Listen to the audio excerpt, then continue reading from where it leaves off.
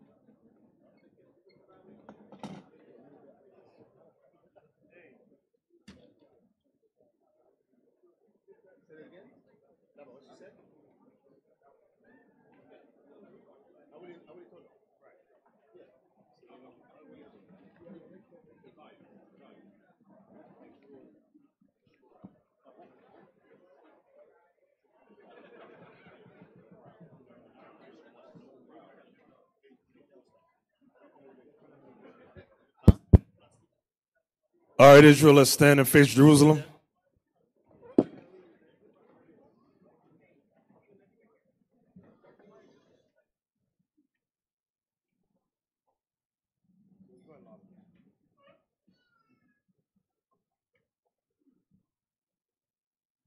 Who's gonna call the trumpet? Men of Israel, blow trumpets.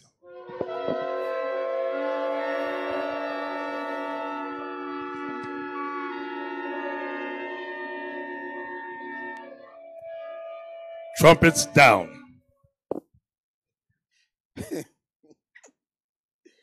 Holy Father, we give you praise and honor, Lord, in your holy Sabbath. We come before thee, Lord, not because we watch us above all, but because of your throne of grace, we stand strong. Our Father in heaven, honor be thy name. Thy kingdom come, thy will be done. As it is in heaven, let it be on earth. Give us this day our daily bread, and forgive us for our sin. Forgive other sins against us. Lead us not into temptation. Deliver us from all evil. Father, we can before thee. We pray, Lord, you heal those that are sick among us quickly and speedily, Lord. Be a shield to us, Lord, in these latter days where we're dealing with evil spirit in higher places. Father, we uh, our trust is in you, our deliverance is in you, our salvation is in you. Help us to overcome this evil time. In the name of your Son, Jesus the Christ, we pray for our leadership. We pray for our brothers and sisters. We pray that, Lord, you strengthen our faith. We move fear from us in Christ. Let the whole congregation say hallelujah. Hallelujah. Hallelujah. We also thank you for the food, also for the drink. In Christ, we pray, we ask, Amen.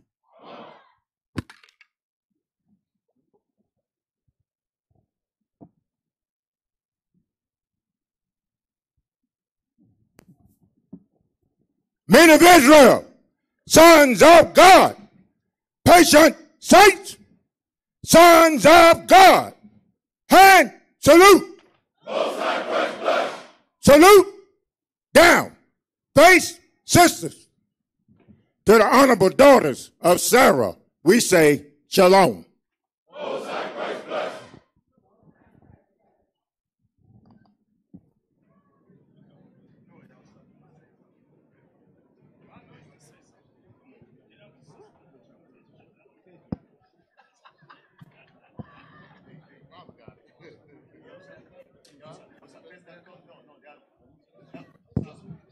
Yes, a shalom, shalom, shalom, family, shalom. Uh, you know, I see many, many of my sisters, many of my brothers. Eh, don't let this, don't let this evil time weak your faith. Stay more stronger than ever, because in these latter days we're gonna face these times. So when we do face these times, remember scriptures. What scripture said. I mean, keep uh, keep their faith. Do not lean on your own understanding. You understand? Because what you see, sometimes that's not what it is. That's how God deal with things. We're gonna have to look within deep with these things, amen. Because uh, I don't know if you're familiar with the prophet Elijah, as he had these little servants with him. Uh, then he have to ask the Lord to open the servant eyes so he may see the army that was standing with him. So we in this lot of days and this a lot of time it's not about what you see it's how god do things put your trust in God for all things. Because a lot of time we lean up on ourselves, then we start to say things stupid uh, or, or deal with things not the way it is. So when you're dealing with times like that, like I said, I'm saying it for reasons. Stay on the faith. Stay up on this faith. Yeah, let me get this scripture, uh, 11. You, you got it, 11, verse, let me have a, uh, Hebrew 11. The book of Hebrews, chapter 11, verse. I think 3 or 4. Hebrews 11, verse 3. Through faith, we understand that the worlds were framed by the word of God. Because everything happened because the Lord allowed these things to happen for me. Oh, yeah, I, I use it. I use it. I'm short. I use it. it's better. It's better if you get that. Yeah, go ahead.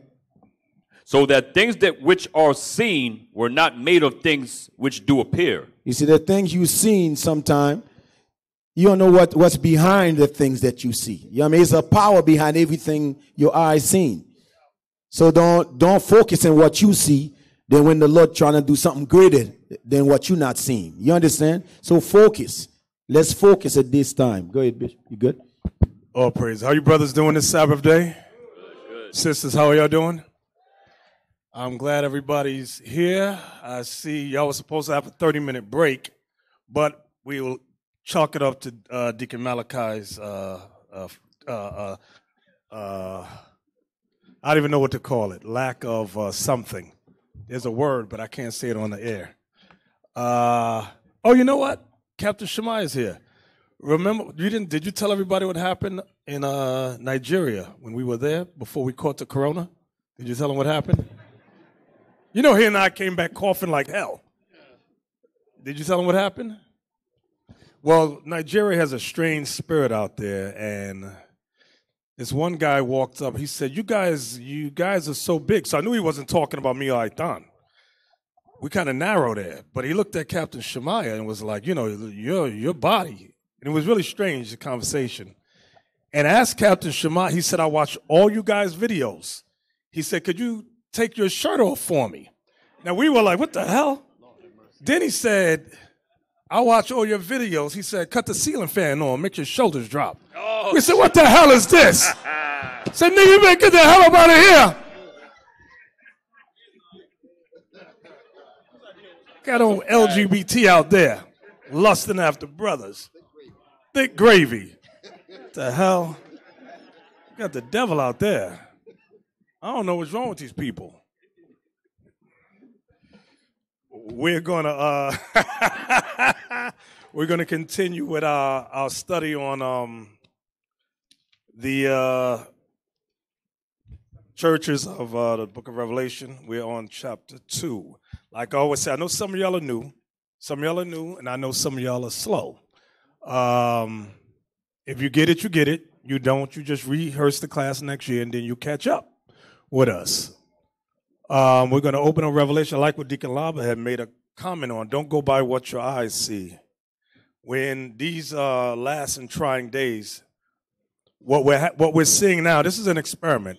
Esau's doing an experiment on us to see exactly. Yeah, I thought you was a BS, but he's right. Social experiment to see how society reacts to an alleged um, uh, pandemic Esau's buying up all manner of guns. My cousin called me yesterday said I ain't got no more because she's just gun collector. She's gonna tell me she ain't got no more bullets and the stores ran out. She's mad as hell, asking where could she get some bullets. I said, pray to the Lord, find some bullets. but um, this is just the beginning, and it's there are more things that's going to come out of this, and it may slow down like it says in Thessalonians. Find me that just popped in my mind. Uh, like a woman in travail. Where's that? Second Thessalonians.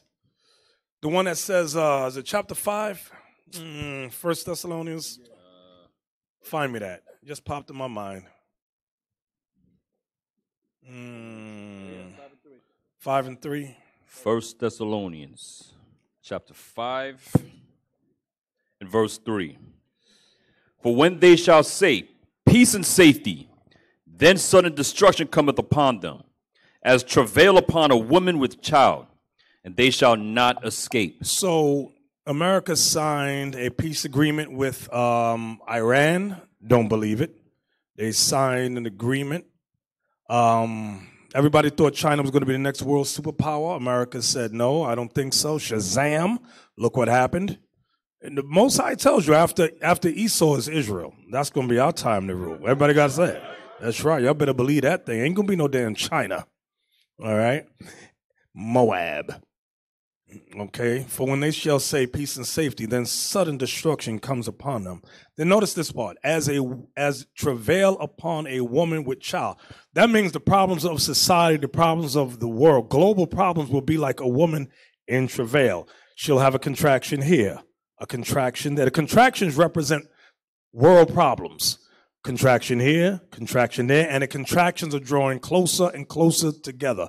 One is spaced five minutes apart, then it's four minutes apart, then three minutes, two, one, and that's it. Then the baby comes. That's when the Lord going to make his entrance into the earth. That's why in verse um, two, it says, For yourselves know perfectly that the day of the Lord so cometh as a thief in the night. For when they shall say peace and safety, then sudden destruction cometh upon them, as travail upon a woman with child, and they shall not escape. So that's what I, I want us to be cognizant of in these last and trying times. That it's going to be like that. It's going to be trouble times. Then it's going to slow down. You're going to think everything's all right. Then pow, something else going to happen. So don't sleep on these times. Don't sleep on what's transpiring right now. So let's open up a Revelation, the second chapter. Revelation, the second chapter. But before we do, uh, Officer Elisha, you there somewhere? Can you open up? Can you open? Get me the article on the ancient Jewish diaspora. Can you get me that for me? That article. Before we read about the seven churches, I want to preface it by giving a little history on the seven churches. You got it, Officer Elisha? Okay. All right. Thank you. Can you uh yeah, ancient now that y'all see that word, they always throw that that that uh suffix ish on when it says Jew. They always throw ish in there. That's to make you think it's talking about white folks. Because ish is a suffix that means somewhat like. Not the original, but something like. Like when I say meet me around five ish. It could be a little before five, a little after five, but not five o'clock. So when they say they are Jewish, they're saying there's something like, in other words, they're telling us in that one word, they are converts. Everybody understand that word? They're saying they are converts. They are not the originals. All right. So scroll down, or let's go down to the part that says Asia Minor. And therefore, Okay, Asia Minor and other northern settlements. The northern diaspora. The word diaspora, by the way, means scattered. Okay? You got it? Good. The northern diaspora arose when the Seleucids took control of Judea after 200 CE. You read about the Seleucids during the time of the Maccabees.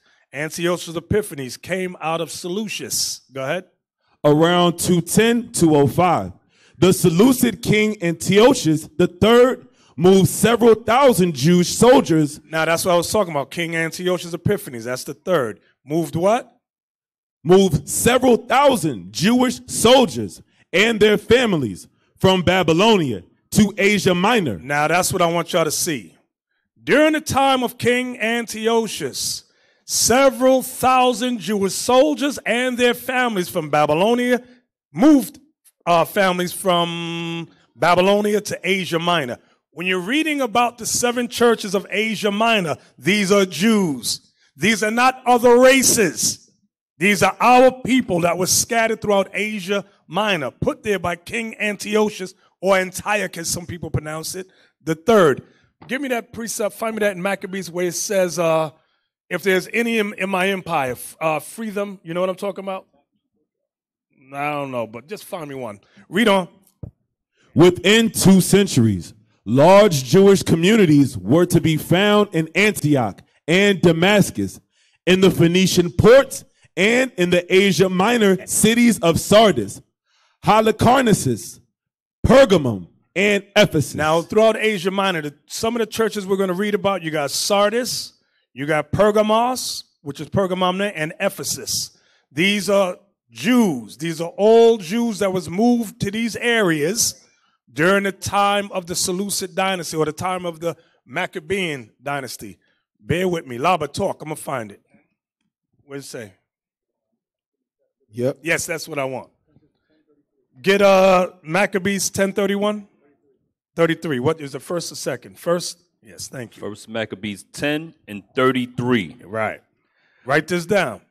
Moreover, I freely set at liberty every one of the Jews that were carried captives out of the land of Judea into any part of my kingdom. His part of part of his kingdom was Asia Minor. Was that it? No, sir. Go ahead. And I will that all my officers remit the tributes, even of their cattle.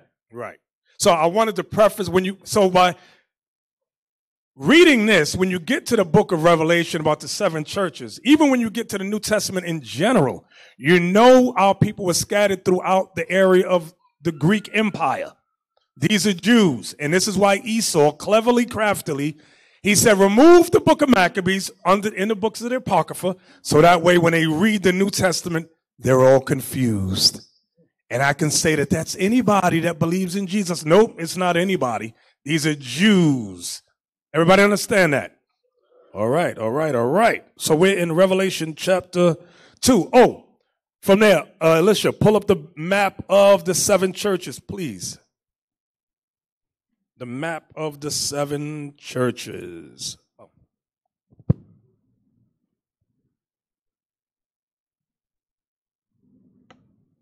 You got it?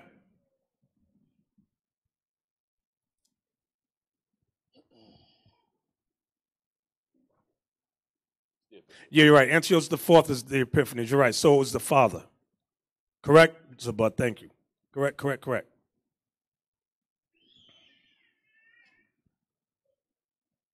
Okay. So you got seven churches of, of Asia. Now, what we're going to look at here on the right side, can you zoom in on, the, on my left side? I'm sorry, on the left side? The green, yeah, that whole green section right there. Can you zoom in or no? Now let's move over. Come on. And you could make it a little smaller. Okay, this is Asia Minor. And you see the island of Patmos. This is where John is. Read that for me in the Revelation 1 where it tells you where he's located at. Keep that right there on the screen. Uh, verse, what verse is that again? Yeah, read that Verse for me, 9. please. Revelation chapter 1, verse 9. I, John, who also am your brother and companion in tribulation and in the kingdom and patience of Jesus Christ, was in the isle that is called Patmos. Right. So that's small on the bottom left in red, you see Patmos. That's where John the Revelator was exiled to. Now you see the seven churches right there. You got Ephesus, Smyrna, Pergamum, Thyatira, Sardis, Philadelphia, and Laodicea. Now we just read in the article, it said uh, the uh, Jewish soldiers and their families removed were moved to places such as it said Ephesus, Pergamum, and Sardis. Okay. Now we read in First Maccabees ten thirty three where they're saying that the Jews were scattered throughout their empire. That was this area here where the seven churches are. All right. From there, let's go to Revelation chapter two now. Verse 1. Yes, verse. We're going to start at verse one. Read it slow for me. The book of Revelation, chapter 2, and verse 1. Unto the angel of the church of Ephesus, write These things saith he that holdeth the seven stars in his right hand, who walketh in the midst of the seven golden candlesticks. So now the angel of the church of Ephesus. All right, give me that. Um, give me that. It's a First Samuel twenty nine and nine. We always brothers always get an issue when they read the word angel and think that we're they're emailing letters to Michael and Gabriel. They're not emailing anything to Michael, Gabriel, Raphael, or Uriel. These are the leaders of the churches. Okay. 1 Samuel chapter 29 and verse 9. This is an example of how the name, the word angel, which means messenger, is used. Go ahead. And Achish answered and said to David, I know that thou art good in my sight, as an angel of God. Mm-hmm. Notwithstanding, the princes of the Philistines have said, He shall not go up with us to the battle. So the reason I went there is to show you that they refer to our forefathers as angels of God. So when you're reading in Revelation, it says, unto the angel of this church, unto the angel of that church, so forth and so on. It's talking about the leaders of the church. Everybody understand that? All right, read verse 2 again, please. Revelation chapter 2, verse 1. Unto the angel of the church of Ephesus write, These things saith he that holdeth the seven stars in his right hand, who walketh in the midst of the seven golden candlesticks. All right, so now the understanding of the seven stars and the seven golden candlesticks go back to chapter 1 and verse 20. Revelation chapter 1 and verse 20. The mystery of the seven stars which thou sawest in my right hand, and the seven golden candlesticks. The seven stars are the angels of the seven churches. So the seven stars are the leaders of the seven churches. Go ahead. And the seven candlesticks which thou sawest are the seven churches. And the seven candlesticks, which is the menorah, represents the seven churches. So now the first one he writes to the angel over the first church in Ephesus. Now, verse 2, please. I know thy works, and thy labor, and thy patience, and how thou canst not bear them which are evil. And thou hast tried them which say they are apostles, and are not, and hast found them liars. So in the church of Ephesus, you had men trying to set themselves up as apostles. Okay? These are phonies. These are more than likely, I'm pretty sure these were younger men who came in and desired to sit in a seat of authority. They had no experience, understanding, or knowledge to sit in that seat. Read verse 2 again. Verse 2 I know thy works, and thy labor, and thy patience, and how thou canst not bear them which are evil.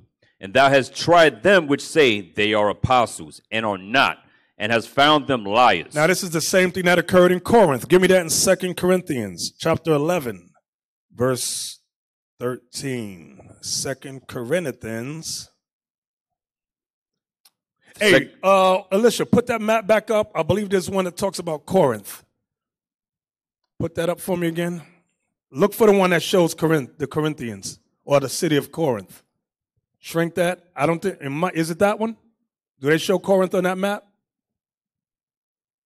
This might be another map that I sent you. I just want to show you the location of Corinth in this verse, and it's going to play a part later on. All right, you got Corinth. Uh, there may be another one. So this is the city of Corinth, which is in Greece. Show me, there might be another one that shows it as a little island. Let me know if you can find it. I sent it to you. I'm, I'm pretty sure I done did. Hmm. Bear with me a second. You found it? Okay. Right, that's it. Thank you. So zoom in where it says Ephesus. Just zoom in a little bit. I just want to show you at a distance. Okay, move move it to the right a little bit. Move it over to the right. Move it to no no no my right. I meant my right. Y'all see Ephesus right there in the center, and look where Corinth is. These are the travels that Paul had made. So Corinth is ac- just across the uh, Aegean Sea, and you see Corinth right there on the left. Do your little circle thing right there so they can see it. Y'all can see it right there, right? Do y'all see it? Hello? All right, all right, good. So go back to Second Corinthians 11 and verse 13. Let Yes, me see sir. that. Wait, Sec- wait, wait. Start at verse 12. Second Corinthians chapter 11 verse 12. But what I do, that I will do. meaning the job that the apostle Paul was called to do. He said, But what I do, that I will do, which is go out and teach and establish churches. Go ahead. that I may cut off occasion from them which desire occasion. That I mean, the occasion is making reference to they everyone, not everyone, some men wanted the occasion to become apostles. That's what he's making reference to. It says that I may that I may cut off occasion from them which desire occasion. He's going to make it crystal clear as, as we read on. Go ahead. that wherein they glory, they may be found even as we. So they were trying to establish themselves as somebody in the church. So Paul said they got to follow my example if they want to f- sit in that seat. That's why it says that wherein they glory, they may be found even as we. Watch the next verse, going to make it clearer. Go ahead. For such are false apostles, He says, These guys, they're false apostles. Go ahead. deceitful workers, And they are deceitful workers in the church of Corinth. Go ahead. transforming themselves into the apostles of Christ. They were trying to transform themselves into the apostles of Christ. So when Paul would leave, you had certain young men setting themselves up as apostles, like they walked with Christ, which they didn't. Like they were taught by Christ himself, which they were not. Okay? Like they did the things that Paul was doing, which they did not. But yet they desired the occasion to be in that seat. So that was one of the problems that Paul had with the Corinthians, which is one of the problems that Christ had with Ephesus. Now let's go right on back. Go ahead. Go right back to Revelation 2. yes, sir. Revelation chapter 2, verse Wait, 2. wait, wait. No, let's go back to Corinthians. I want to read down just a few verses more.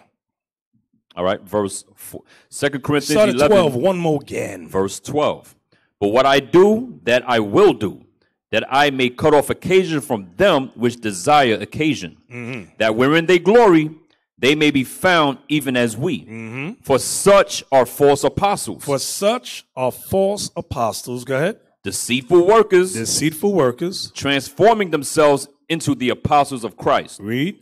And no marvel, And I'm not shocked. Go ahead. for Satan himself is transformed into an angel of light. and Paul's get that's a metaphor right there. That's a deep mystery. I word it like that. He's letting you know that when Satan was in the garden, he did not come as a serpent crawling on the ground to Eve going, Psst, Eve. Psst. No, no, no. He came like an angel of light. That's what Paul is revealing. That's a precept. Write that thing down. Go ahead. Verse 15. Therefore, it is no great thing if his ministers also be transformed as the ministers of righteousness, whose end shall be according to their works. See that? So he's Paul was told what these dudes were doing in Corinth, trying to set themselves up as the apostles. Okay, and he and Paul called them the ministers of Satan in the church of Corinth. In the I want you to understand it. It's not talking about a group of people outside the church. They were in the church trying to set themselves up as some great people. Read 15 one more again. Verse 15. Therefore, it is no great thing if his ministers also be transformed as the, as the ministers of righteousness, mm-hmm. whose end shall be according to their works. So what were they doing in essence? They were disrespecting Paul. They were disrespecting Peter, James, John, and others. That's what they were doing. Young men. I know it was young men. Read on. Verse 16. I say again, let no man think me a fool. So what's Paul saying? Don't think I'm stupid, all right? I'm, I know what y'all are doing. Don't play me a fool. Go ahead. If otherwise, yet as a fool receive me, He said, if otherwise, just receive me oh, uh, as a fool just for a moment. Go ahead. that I may boast myself a little. That I'm, and then as you read down, Paul gives his resume to do what? Why did he give his resume when you read like from verse 23 down? To shut those dudes down, in those young men down, trying to establish themselves as somebody. He said, I'm gonna give you my resume. Just, just hold your horses right there. You want to be the apostles, but let me boast just for a little bit and give you my resume. And nobody could hold a candle to what Paul had done over those many years. There's an old expression. Don't compare your chapter 2 to our chapter 30.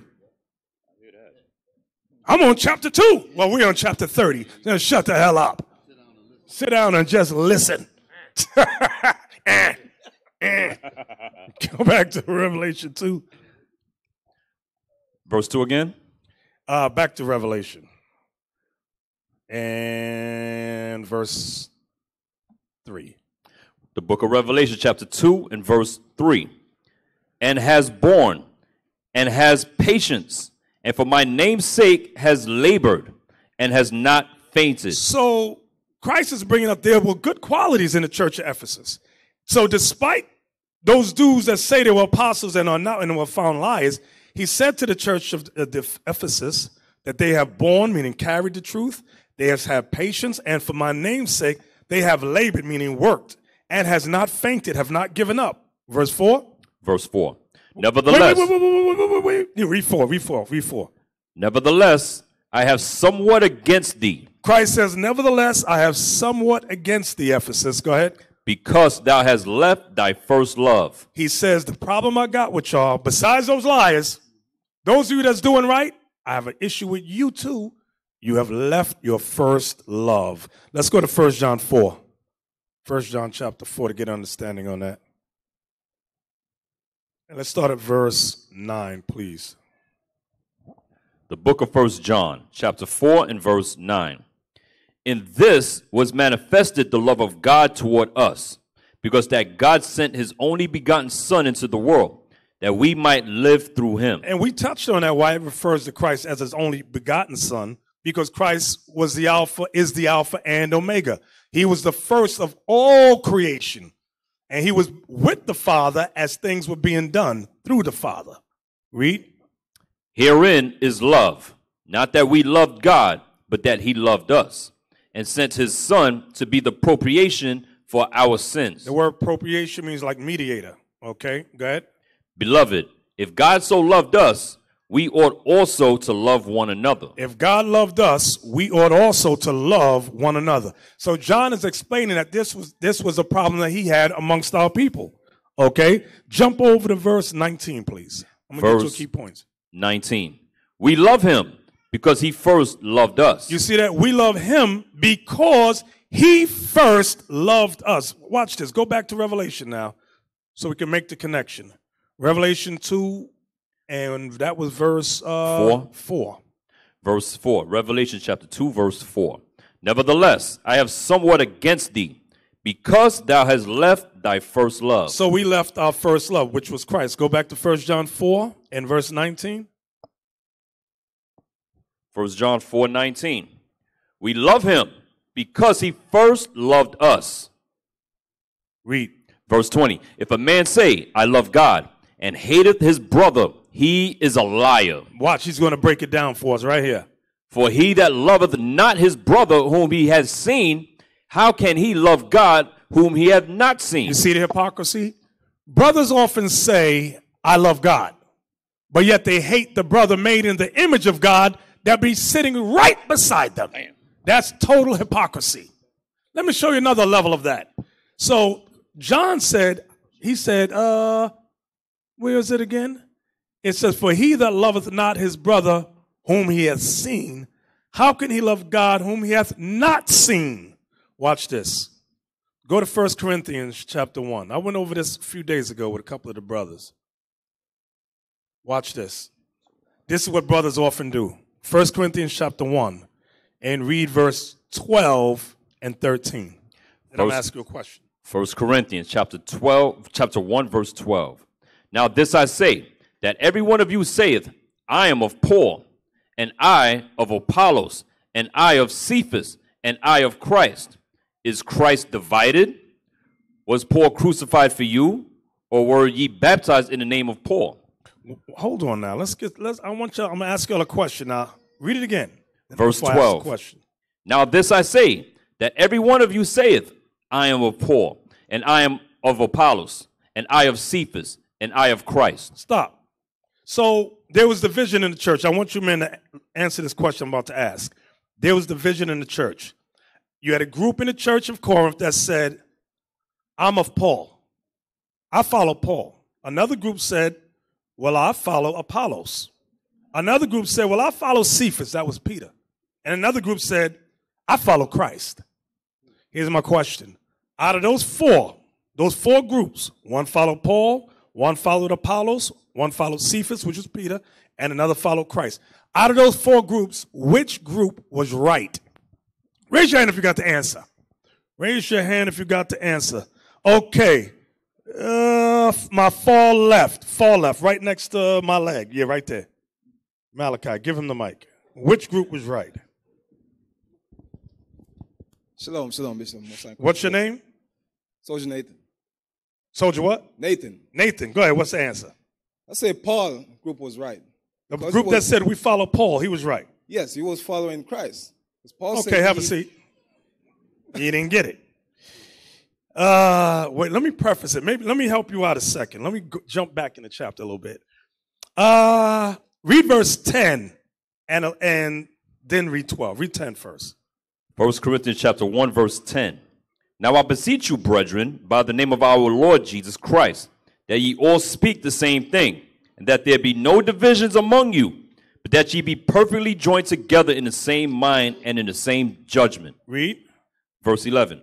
For it hath been declared unto me of you, my brethren, by them which are of the house of Chloe, that there are contentions among you. There's arguments among you because of them divisions. Go ahead. Now this I say, Now he's going to explain the arguments. Go ahead. that every one of you saith, I am of Paul, So some of them said they're of Paul. Go ahead. and I of Apollos, Another group said they're of Apollos. and I of Cephas, And they're of Cephas, another group. and I of Christ. Remember, this is in the same congregation. Some of them followed only Paul.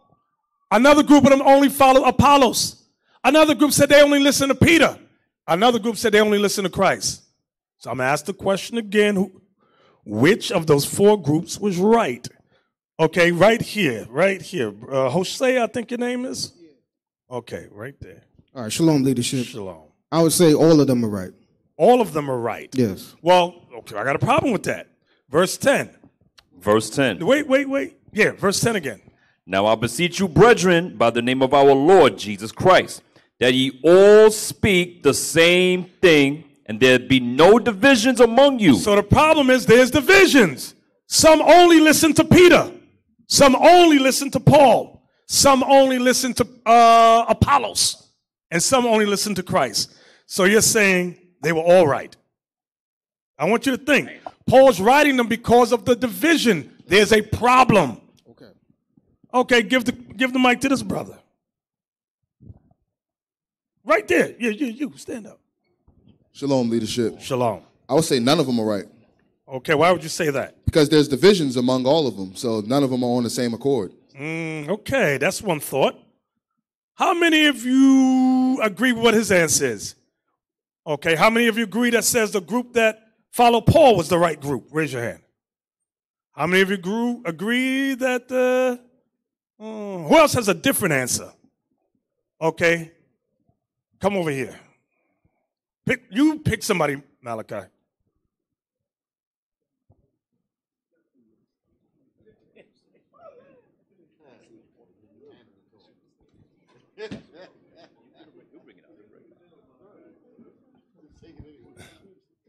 Shalom leadership. So Shalom. Can you repeat the question again?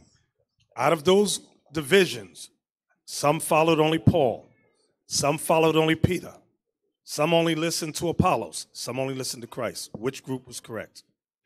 I'd say the group that uh, does follow Christ. Okay. Who agrees with that answer? Okay. That's is that the majority of hands going up? Okay. How many of you said they were okay, that's the group that says the group to follow Christ. How many of you say they all were wrong? Raise your hand. Okay, very good. That's the answer. They were all wrong. Every last one of them. Right. Remember, he asked the question, he said, Is Christ divided? Now you might ask yourself, but the group said they follow Christ. Watch, I'm gonna show you what was wrong with that. Hold your finger right there. Go back to 1 John chapter 4. That's why I preface it with 1 John 4. Yes, sir. Uh, what verse was that? Uh, 1 verse John 19, chapter 4. Or 20. Verse and 20. verse 20. Verse John chapter 4 and verse 20. This If- is what's wrong with the group that says they only follow Christ. Go ahead. If a man say, I love God, and hateth his brother, he is a liar.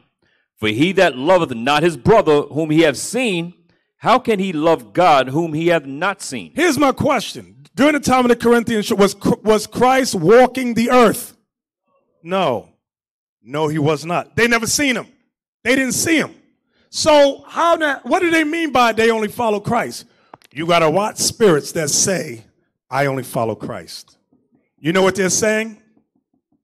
They can do whatever the hell they want. There's nobody that can check them or correct them.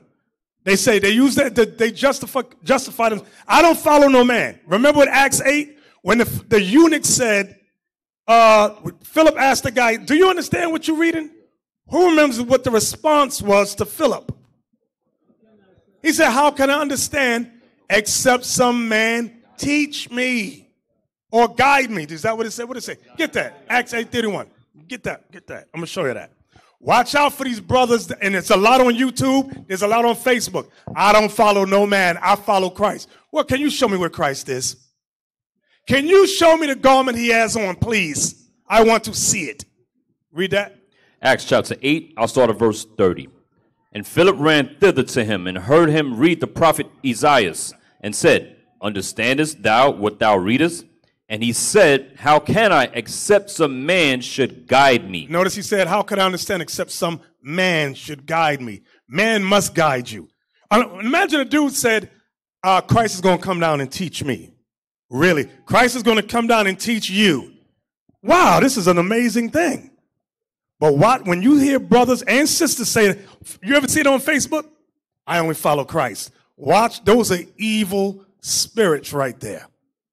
Because that way, Christ is not on earth. That and it'll be the same ones that say women can wear pants, you can eat pork if you want, and you can't correct me because you ain't Christ. Watch those evil Negro, black and brown spirits. Laba, what are you gonna say? No, no. what you say is true. You remember what they s- uh, you remember what they say. Don't listen to them. I only follow Christ. I mean, the men that God set over you to get you in order. Don't listen to them. I only follow Christ. That's a dumb spirit. Exactly.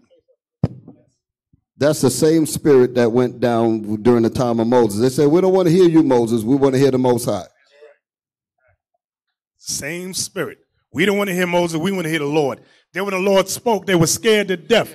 Mountains started blowing up. Thunder and lightning came down and could kill them all. Then they said, oh, Moses, we'll listen to you now. So when you hear black people, it's always some black ashy devil today that says, I don't follow no man. I only follow Christ. Watch that brother or sister that says that. Like they woke up and Christ said, Let me give you the understanding. Go to Deuteronomy 28. Open your Bible. I'm going to teach you that you're an Israelite. Now go to Revelation chapter 1. I'm going to show you my color. And they're going, Yes, Lord, teach. Me- Hey, there's a brother in Harlem. Remember that brother in Harlem that said he went to Mount Sinai and the archangel came down and taught him. And you got a whole group of people that believe that thing. And a dude used to read for Yahweh Sop when he was 15 years old. But now he teaches the lie that the angels came down and taught him. You got knuckleheads that believe that. And we got the video proof that he learned under us. So what the hell is this? Back to Revelation chapter 1. See, we hear foolishness. We stay quiet on a lot of stuff. We could put tape after tape with this brother as a child reading for Deacon Yawasab. We said, no, no, no, leave it alone. They, they, they, they have been appointed to follow that. Where we at? Uh, Revelation chapter 2, verse 5. Okay. No, no, no. Go and give me uh, Psalms 2 and 12. About, because I wanted, we went to First John because it says we left our first love. The church of Ephesus left their first love, which was Christ. Go ahead. The book of Psalms, chapter 2 and verse 12. Kiss the Son, Kiss Christ. That's what it's talking about. Go ahead. Let- Kiss the Son, lest he be angry, lest he be mad as hell at thee. Go ahead. and ye perish from the way, And he kill you. when his wrath is kindled but a little. Read it again. Kiss the Son, Meaning what? Remember Christ said in John 14, 50, if you love me, keep my commandments. That's what David is saying in Psalms. Read it again. kiss the Son, If you love me, keep the commandments. Go ahead. lest he be angry, and ye perish from the way, Lest he be angry and he kill you, put you to death. Go ahead. when his wrath is kindled but a little. Okay. Let's go back now. Was that it? I'm sorry. No, sir. Blessed are all they that put their trust in him. Let's go back to Revelation 2 now. And we are at verse 5. The book of Revelation, chapter 2, and verse 5. Remember, therefore, from whence thou art fallen, and repent, and do the first works. Now, that's a heavy statement right there. Remember, therefore, from whence thou art fallen, and repent, and do the first works. The first works, before I get to the first works, I want to start with the beginning part. Remember, therefore, from whence thou art fallen. You know what you got to do? If you find yourself stumbling in this truth, the first thing you got to do is Second Corinthians 15 and 3. Get that? Or is it 13 and 5? 13, I'm sorry. 13 13 and and 5. 5. Yes, sir. Second Corinthians chapter 13 and verse 5. Examine yourselves. That's the first thing. So when John said, when the angel, when Christ said through to John, he said, uh, remember, therefore, from whence thou art fallen. You got to examine yourself and say, what caused me to stumble in this truth? Where did I make my mistake? This is what the church of Ephesus had to do self examination. Where did we go wrong? Read that again. Examine yourselves whether ye be in the faith. You got to examine yourself, self examination. So at the church had to examine where did we go wrong? Go ahead. Prove your own self. You got to prove your own self. A brother or sister can't prove you. You, your works can only speak for you. We, a brother, we might like you as a brother, we might like you as a sister, but your works speak for you. We will, many a time we'll stand up and say, oh, this is a good brother. And that brother turn around and do something dumb as hell. Like give out, uh, answers on a test. And we'll go, we'll be like, no, not that brother. Not that brother. We lo- no, we love that brother. Not him. He would never do that. Then lo and behold, he did it. And it's like, damn. Now we got egg on our face. The hell is this? Read that again. Examine yourselves whether ye be in the faith. Prove your own selves. You got to prove your own selves. Go ahead. Know ye not your own selves how that Jesus Christ is in you, except ye be reprobates? Except you be reprobate means void of judgment, void of understanding. Give me um Mark 4:18. Let me give you a personal example of how you could go wrong. Mark 4 verse 18. Christ made mention of four types of Israelites. But there's Mark. one group we want to concentrate on just for a moment, just for a moment. Go Mark ahead. chapter 4 and verse 18. And these are they which are sown among thorns, These are the Israelites that are sown among thorns. This is the third type of Israelites. Go ahead. such as hear the word You hear the Bible, you hear the scriptures, and the cares of this world and the cares of this world. Go ahead. and the deceitfulness of riches And the deceitfulness of this goes for male or female, by the way. The cares of this world and the deceitfulness of riches. Go ahead. and the lusts of other things entering in, Notice that part. And the lust of other things entering in. That lust, the main two types of lust you will often find in any congregation is sex and money. We just saw the one, the lust for money in Austin. That whole thing almost blew up and all was almost destroyed. But the Most High allowed them to recover. All praises. The ones that could not repent and get themselves right, God moved them out the way. Every last one of them. Some of those spirits was in Texas. God moved them out the way. They couldn't repent. They could not recover. They're on YouTube, uh, Facebook, and Periscope today. I'm still in the truth. I was, no, no, no, no, you're not. You're still, you're not in the truth. No, you're not. Did you ever repent for your evils? No, so you're not in the truth. You're not in the truth. Read that again. and the cares of this world, and the deceitfulness of riches, and the lusts of other things entering in, choke the word, Choke the word, and it becometh unfruitful. and it becometh unfruitful. So, in order to understand that, you got to examine you. You got to check, you got to do self examination on a personal level. So, when we get back to the church of Ephesus, Christ was telling them as a body, He was telling the leaders, I want you leaders to self examine where you made your mistake, where you went wrong, because you left your first love. You, you left Christ, you went to something else. Let's go back to Revelation, Revelation chapter 2, and verse, verse 5 again. 5 again. Remember therefore from whence thou art fallen, and repent, and do the first works. and do the first works. Repent.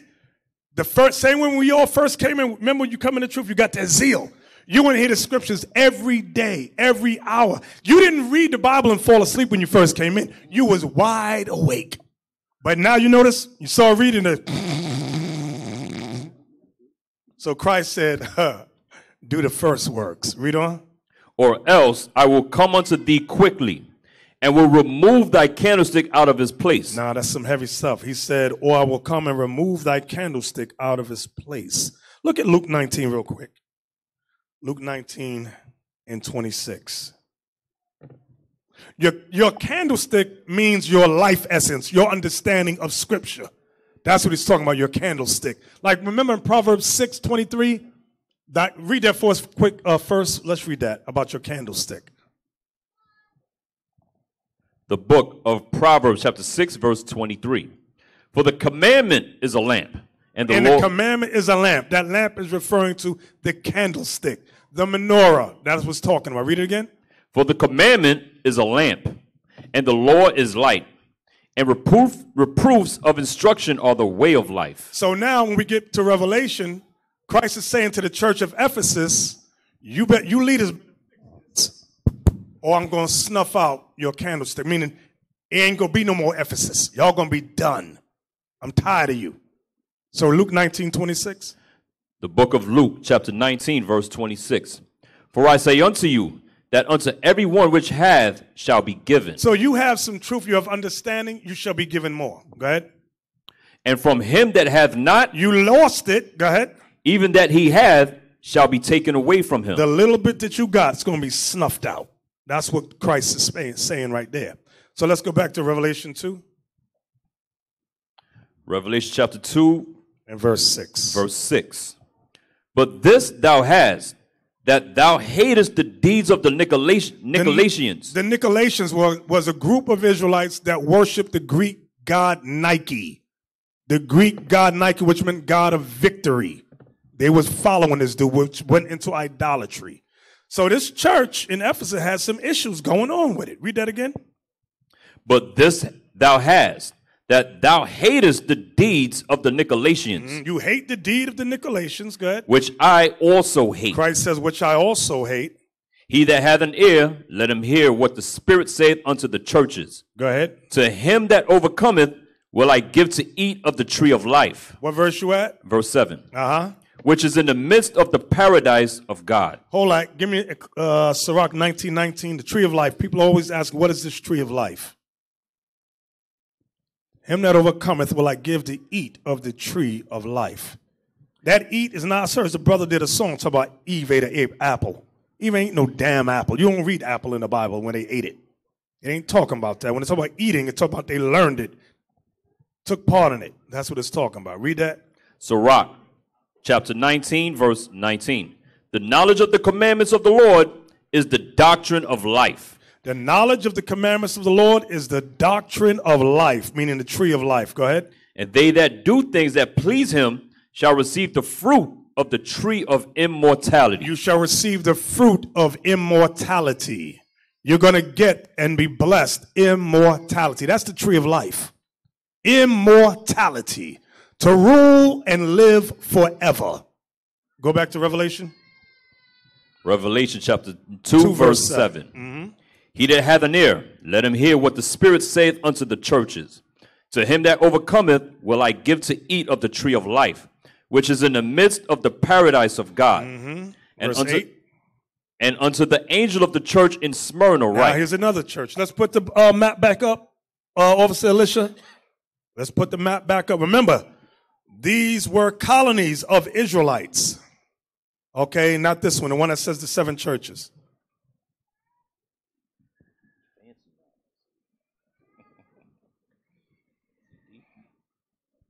Shrink it. Okay, the seven churches. We read about Asia, right above, I mean, read about uh, Ephesus, I'm sorry. Right above Ephesus, you see Smyrna, right there in Asia Minor, right there. So this is now the second colony of Jews in Asia Minor. Revelation 2 and verse 8. the book of Revelation, chapter 2, verse 8. And unto the angel of the church in Smyrna, write, These things saith the first and the last, which was dead and is alive. Yeah, I'm sorry, read it again. Verse 8. And unto the angel of the church in Smyrna. So now he's writing to another set of leaders that were over the church of Smyrna. Give me that Galatians 4:14. the book of Galatians, chapter 4, and verse 14. We're just going there as a precept for angel, because some of you still, I'm just confused about that word angel. Go ahead. And my temptation, which was in my flesh, ye despised not, nor rejected, but received me as an angel of God. You received me as an angel of God. Let's go back to Revelation 2 and 8, please. Revelations chapter 2, verse 8. And unto the angel of the church in Smyrna write. Oh, you know what I want? Officer Alicia, give me the article on Smyrna. Smyrna. S M Y R N A. Smyrna. I sent you a brief little article. It says Smyrna at the top. Is that it? Okay, give me the section that says Roman and Byzantium period. Roman and it might say Byzantine period. Roman and Byzantine period. Right there, that's it, right there. Can we read that? Somebody over here so who can see it clear. Uh, somebody got a mic over there? Let me see. I, I got it. I got it. Uh, what, do you- what do you want to read? Uh he just yeah, right here. Roman and Byzantine period. Go ahead. Okay. As one of the principal cities of Roman Asia, Smyrna Smyrna vied with Ephesus and Pergamum for the title First City of Asia. Meaning they wanted to be the capital. They were going against Ephesus to be the Smyrna wanted to be the top one, but Ephesus ended up being the capital. Go ahead. A Christian church and a bishopric existed here from a very early time, probably originating in so you see a, a Christian church and a bishopric. Can we hi- uh, highlight that word bishopric? Let me see what pops up. I didn't look at it. I just want to see what it says. Might be a whole long dissertation. Now, okay, go back. Give me the ver- uh, give me um in Acts chapter one about Judas Iscariot. It uses the same word. Yes, sir. You know what I want? I ain't, I ain't Yeah, going I- there I with know you, but let me just go to Acts 1. We want to look up that word bishopric. Bishopric. Okay, Acts chapter 1, verse 20. For it is written in the book of Psalms, Let his habitation be desolate, and let no man dwell therein, and his bishopric let another take. So Judas had already been, he died. He, well, he committed suicide. It said, uh, and let no man dwell therein, and his bishopric let another take. Remember, Judas Iscariot was an apostle. Bishopric is another term for office of apostle. Okay, that's what it's making reference to. Let's go back now to the article. Go back to the article. Go ahead. A Christian church and a bishopric existed here from a very early time, probably originating in the considerable Jewish colony. See that? A Jewish colony. These were Jews. These were not other races. I just wanted to uh, reiterate that point right there. Let's go back to the scriptures, please. You can take that off, Officer Lisha.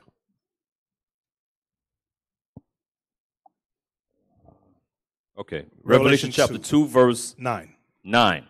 I know thy works, and tribulation, and poverty, but thou art rich. And I know the blasphemy of them which say they are Jews and are not, but are the synagogue of Satan. Now we often read that verse. Heavy verse, heavy verse, love that verse. So Christ is saying that he knows the works of the Israelites that were in Smyrna. They did a lot of works. Why? Because they were a colony of Rome. He said, and they caught a lot of tribulation, okay? And they were deeply impoverished. That's the poverty. Then he says, but thou art rich. Why? Because all the promises in the Bible pertain to the Israelites, which the church of Smyrna was a part of.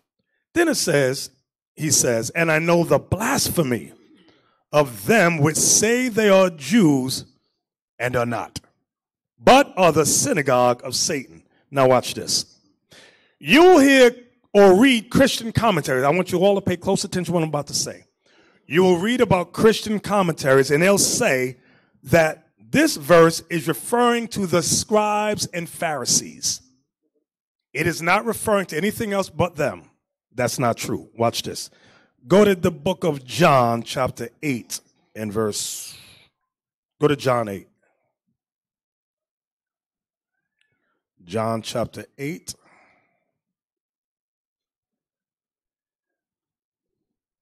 And we're going to read verse 33. The book of John, chapter 8, and verse 33. They answered him, We be Abraham's seed, So these Jews, they said, We be Abraham's seed. Go ahead. and we're never in bondage to any man. We weren't in bondage to any man. Go ahead. How sayest thou, ye shall be made free? So Christ is talking to the Jews. Okay. Look at verse 31 so we can get the understanding. Verse 31. Then said Jesus to those Jews which believed on him. Because he was his whole argument or discussion was to the Jews. Some believed, some did not. Read verse 33 again. Verse 33 They answered him, We be Abraham's seed, and were never in bondage to any man. How sayest thou, Ye shall be made free? So this is the group, obviously, that did not believe. Jump down to verse 37. Verse 37. This 37 is what Christ says to them. I know that ye are Abraham's seed, but ye seek to kill me, because my word have no place in you. So Christ said, I know you're Abraham's seed. I know you, yeah, you are Jews, but you seek to kill me. Okay, because my word has no place in you. Jump down to 44. Verse 44 Ye are of your father the devil, and the lust of your father ye will do. Now, believe it or not, the devil he's making reference to, he's not just talking about the spiritual demon Satan. Who were the Pharisees following? Who were they afraid of? Rome, Rome, Rome. Rome. You of your father, Rome. and the lust of your father you would do. Go ahead. He was a murderer from the beginning, That was Cain. hmm and abode not in the truth, because there is no truth in him. When he speaketh a lie, he speaketh of his own, for he is a liar and the father of it. That's right. That the Roman Empire was Cain before the flood. The Roman Empire was Esau after the flood. And the Pharisees obeyed Rome. They of their father. He said, Yeah, you are Jews, but you of your father the devil. So now, let's go back to Revelation 2 9 again. So then what is he talking about? I'm confused now. I know that Revelation chapter 2 verse 9. I know thy works and tribulation and poverty, but thou art rich. And I know the blasphemy of them which say they are Jews and are not, but are the synagogue of Satan. Watch this. Now let's get the deeper understanding, the real understanding of that. Let's get to the prophecy first. Give me Daniel 11 14. The book of Daniel, chapter 11 and verse 14. And in those times there shall many stand up against the king of the south. King of the south was the Ptolemy dynasty. Also the robbers of thy people Now, this is what I want right here. Also, the robbers of thy people, go ahead, shall exalt themselves shall exalt themselves as the Jews, go ahead, to establish the vision. to establish the vision that they are the Jews. Go ahead. but they shall fall. but they shall fall. So it was prophecy that you would have a group of people who would rob our heritage. Okay? Not only rob our heritage, rob our land, our country, our name. They would rob everything and seek to establish the vision that they are the daughters, I mean, sons and daughters of God. Watch this. Give me Luke 1 5. The book of Luke, chapter 1, Wait, bef- yeah, yeah, read that. chapter 1 and verse, damn, hold on. Verse 5. There was in the days of Herod, the king of Judea, Well, stop. That's all we want. Herod, the king of Judah. Herod, the king of Judah. Can we look up Herod? Who got a Bible dictionary? Just look it up for us. Somebody look up Herod and read it for us. I got it. Herod. Who was Herod, the king of Judah? I'm curious.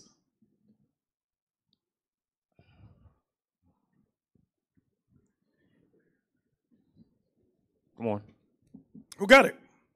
Officer Yuri got it. Come on. Herod, Idumean rulers of Palestine. Wait, hold on. Where are you reading from? Where are you reading from? This is the Bible Compact, the Zondervan Compact Bible Dictionary, mm-hmm. page 224. Herod, Idumean rulers of Palestine. Idumean rulers of Palestine. Can we look up Idumean? Because that's another Greek word. Idumean ruler of Palestine. Idumean. I D U M E A N.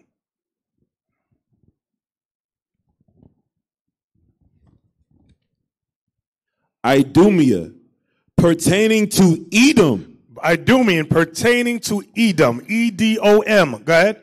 Greek and Roman name for Edom. So Idumean is a Greek and Roman name for Edom. So let's go back to Luke 1 5.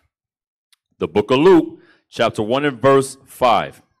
There was in the days of Herod, the king of Judea. So this was an Edomite who was the king of Judah.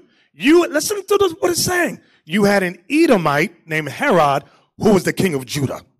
This makes no daggone sense. And you know what? Scholars will read by that. We got to start to say, hold on, let's pause right there. Now give me the one in Acts uh, about Berenice. It might be chapter 22, 24, 26. It's been a while. Where it said, uh, I know that thou art expert. Oh, um, 26 and verse 2 and 3. the book of Acts, chapter 26 and verse 2.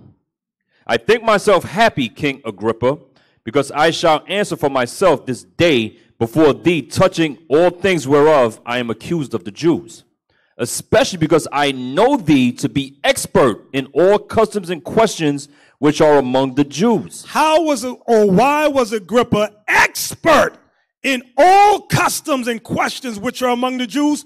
Because they were circumcised, they were converts, just like Herod was. That's this, this is the same family line. They were converts to what they call Judaism. They were, they were studying all our laws and customs. That's why Rome set Herod up as king of Judah. This was a white man he set up over us. They set up over us and set themselves up as Jewish. That's right. They were set up as Jewish. That's the term we read about from the beginning of the lesson. Jewish, meaning converts. Everybody with me so far?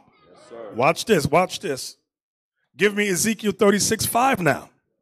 Here's more prophecy to explain the blasphemy of them which say they are Jews and are not, but are the synagogue of Satan. The book of Ezekiel, chapter 36, verse 5. Therefore, thus saith the Lord God Surely in the fire of my jealousy have I spoken against the residue of the heathen, and against all Idumea. Idumea, remember, Greek and Roman name for what? Edom. E D O M. Go ahead. which have appointed my land Which have robbed my land into their possession. into their possession. That's the prophecy of May 14th, 1948, where the white man took the land and established themselves as Jewish people. Go ahead. with the joy of all their heart, with despiteful minds, to cast it out for a prey. Yeah, they let the other nations come in and say, hey, come take a part of this land. Come take a part of this land. Come be with friends. That's what they do. So these are basic prophecies of the white man establishing themselves as Jewish people. Now watch this. Uh, Officer Alicia, give me the video by the world famous or infamous Greg Laurie.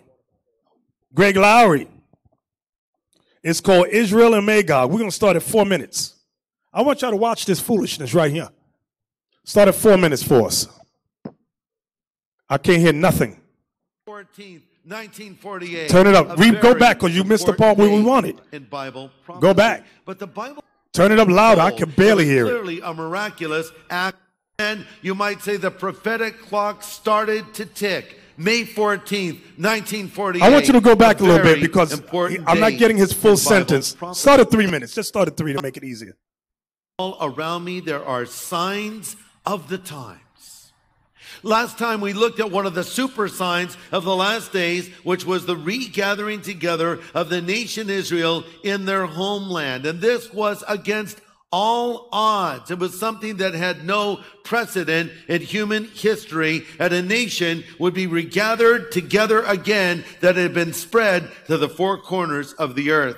David Jeremiah in his book, what in the world is going on writes quote never had a decimated ancient people managed to retain their individual identity through almost 20 centuries and reestablish their nation in their original homeland this event was specifically prophesied and it happened exactly as foretold it was clearly a miraculous act of god end quote it's a super sign and jesus said this generation, the generation that sees this happen, will not pass away till all these things be fulfilled. So once The Jewish people had returned to their homeland. You might say the prophetic clock started to tick. May 14th, 1948, a very important date in Bible prophecy. But Pause. the Bible not only Just pause. I want you to notice he's not using scripture really. He's not explaining verse upon verse, precept upon precept. He'll paraphrase a scripture and just throw it out there. And the various majority of the people go, or in the audience going, yes, May 14th, 1948, the Jewish people were retained, returned to their homeland. Let me tell you something what's wrong with that. Give, watch, I'm to show you what's wrong with that. Now, we just gave some prophecies how Edom would take the land, did we not? Now, watch, let's, let me give you some more. I'm going to help you out with a little bit more. Yeah, that was scriptural. Give me Isaiah 14. This, if they're the Jews of the Bible, this is what's supposed to be happening. Isaiah chapter 14, verse 1. For the Lord will have mercy on Jacob and will yet choose Israel and set them in their own land. And the strangers. Now, that's what they're saying. May 14th, 1940. Really? Okay, let's see if that's what it's talking about. Go ahead. And the strangers shall be joined with them, and they shall cleave to the house of Jacob. And the people shall take them and bring them to their place. And the house of Israel shall possess them in the land of the Lord for servants and handmaids. Slaves. Slaves. Where are the slaves? Where are the slaves that they're supposed to bring up over there? Read on. And they shall take them captives, whose captives they were. Who were these people captive to? They weren't captive to nobody. Go ahead. And they shall rule over their oppressors. You see that? And the Jews would rule over their. Who are they ruling? The hell is this? Go ahead. And it shall come to pass in the day that the Lord shall give thee rest from thy sorrow and from thy fear and from the hard bondage wherein, Hard bondage. wherein thou was made to serve. You know what? It's so funny. They say, "Oh, the Holocaust." Ah, five years. You mean to tell me you're complaining because you suffered a little bit for five years? For five years? Five years. You mean to tell me your five years compares with over almost 500 years that we've gone through? If that's hard bondage, what was the bondage that we went through? Exactly. That's the reason why the Most High put hard on there. He Mm-hmm. wants you to, he's specifying a particular bondage that is totally unforgettable everywhere. Exactly. Exactly. Watch this. If they're the Jews of the Bible, here's something else that'll be going on. Not only would they have slaves and rule their oppressors, Isaiah chapter 2, verse 1. The book of Isaiah, chapter 2, and verse 1. The word that Isaiah the son of Amos saw concerning Judah and Jerusalem. Read. And it shall come to pass in the last days that the mountain of the Lord's house shall be established in the top of the mountains. So the mountain of the Lord's house would be established at the top of the mountains. We've been believing, we've been to Israel. It's not at the top of no mountain, it's a, a desert in a valley. Go ahead. And shall be exalted above the hills. That land is not exalted above no governments. Go ahead. and all nations shall flow unto it. And all nations talking about Israel coming out of all nations. They ain't flowing to that. Go ahead. And many people shall go and say, Come ye, and let us go up to the mountain of the Lord, to the house of the God of Jacob. Here it comes. And he will teach us of his ways, and we will walk in his paths. For out of Zion shall go forth the law. Is the law being taught out of there? So all, everywhere? No. No. All you got over there is hatred and racism, and they are knocking Palestinians upside the head and shooting them. Gay parade out there. Right, and you have right. When we were out, remember they had the damn gay parade out there. They got pork stores out there. Transgender, um, Transgender LGBT marches. Are you, so you're you're an idiot. Which the table uh, camera I'm looking at that one right there. You're an idiot if you think those people in Israel today are the prophetic fulfillment of scriptures that we read about. Let's go back to the video with Greg Laurie. Greg Laurie. Let's go back to him. only said that the Lord would gather the Jews back to their homeland again, but he said that Jerusalem would be theirs and Jerusalem would end up being the source of conflict in the end times. But what's interesting is on May 14th, 1948, Israel did not possess Jerusalem. In fact, that did not happen until the 67 war when Israeli forces captured the old city and reunified all of Jerusalem. So the city was under Jewish control for the first time in many centuries and No, Bible prophecy had Notice he keeps using the word Jewish. He knows most people don't look that word up. He's telling you the converts, the converts, the converts took the city.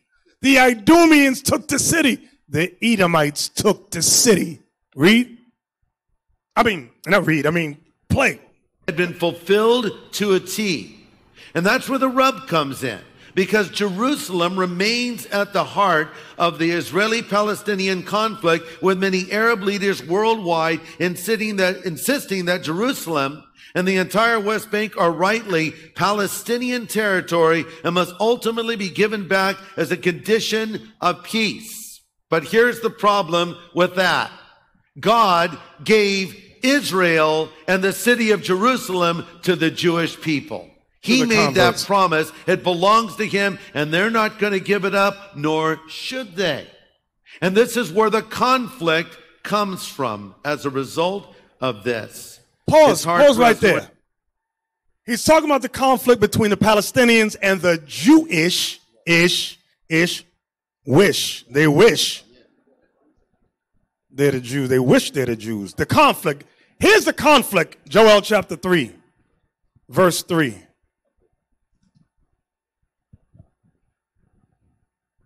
The book of Joel, chapter 3, verse 3. Where is it? Okay. Verse 3. And they have cast lots for my people and have given a boy for an harlot. Wait, wait, I mean 2. I want verse 2. I apologize. Verse 2. Yes, sir. I will also gather all nations and will bring them down into the valley of Jehoshaphat and will plead with them there for my people and for my heritage Israel, whom they have scattered among the nations and parted my land. See that part right? And parted my land? Greg Laurie just told you who it's parted between. It's parted between the Palestinians and the Jewish people. That's what Joel 3 and 2 is talking about. That's the convert the controversy right there.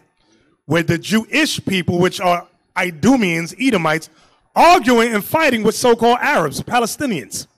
Go back to Isaiah 2. Because ain't once the Jews go back to the land of real ain't supposed to be no conflict. Read verse 4. Isaiah chapter 2, verse 4. And he shall judge among the nations, and shall rebuke many people, and they shall beat their swords into plowshares, and their spears into pruning hooks. Nation shall not lift up sword against nation, neither shall they learn war anymore. You know what that means? When the 12 tribes of Israel return to the land, there's going to be world peace. That's You understand that? Is there world peace today? Hell no. So they are not the biblical Jews at all. Let's go back. What you say, else up?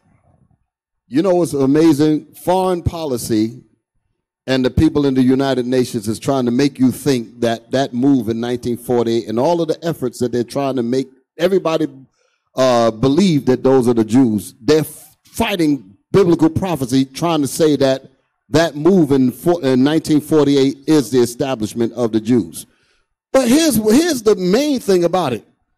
We talking about this Corona thing and everybody's running crazy, right? Yeah. Pandemonium and all that. Imagine the pandemonium that's going to hit, or the pandemic pandemonium is going to hit when they find out that you are the real Jews all over this planet Earth. That's you ain't seen no daggone craziness. Wait till that information really hits. When they have, when they come to realize that you know what, these are the people of God. Mean we're in trouble. That's going to be a hell of a deal. Exactly. And they're trying to stop that by trying to establish these people as the Jews. Exactly. Let's go back to Greg Laurie just for a moment. Greg Laurie.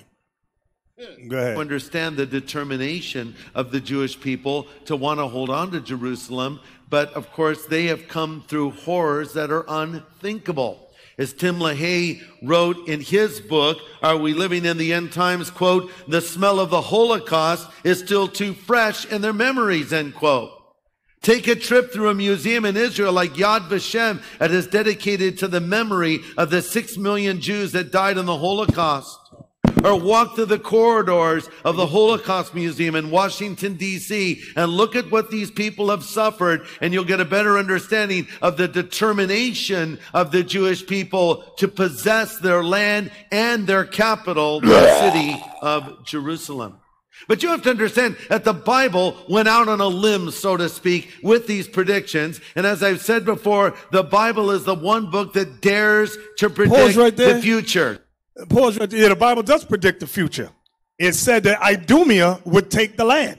That's what we read about. They always talk about uh, six million during a five-year span. Let's six million, six alleged six million. I'll give them this alleged six million. I'll, okay, you take the little six million during your five years. But let's do the hundreds and hundreds of millions that died for the past 500 years. And I'm talking about from 1492 on up. I ain't started 1690. I'm talking about 1492. All the way up to now. Daniel 9:12, please. Watch what God says. The book of Daniel. Oh, five years. They suffered for five years.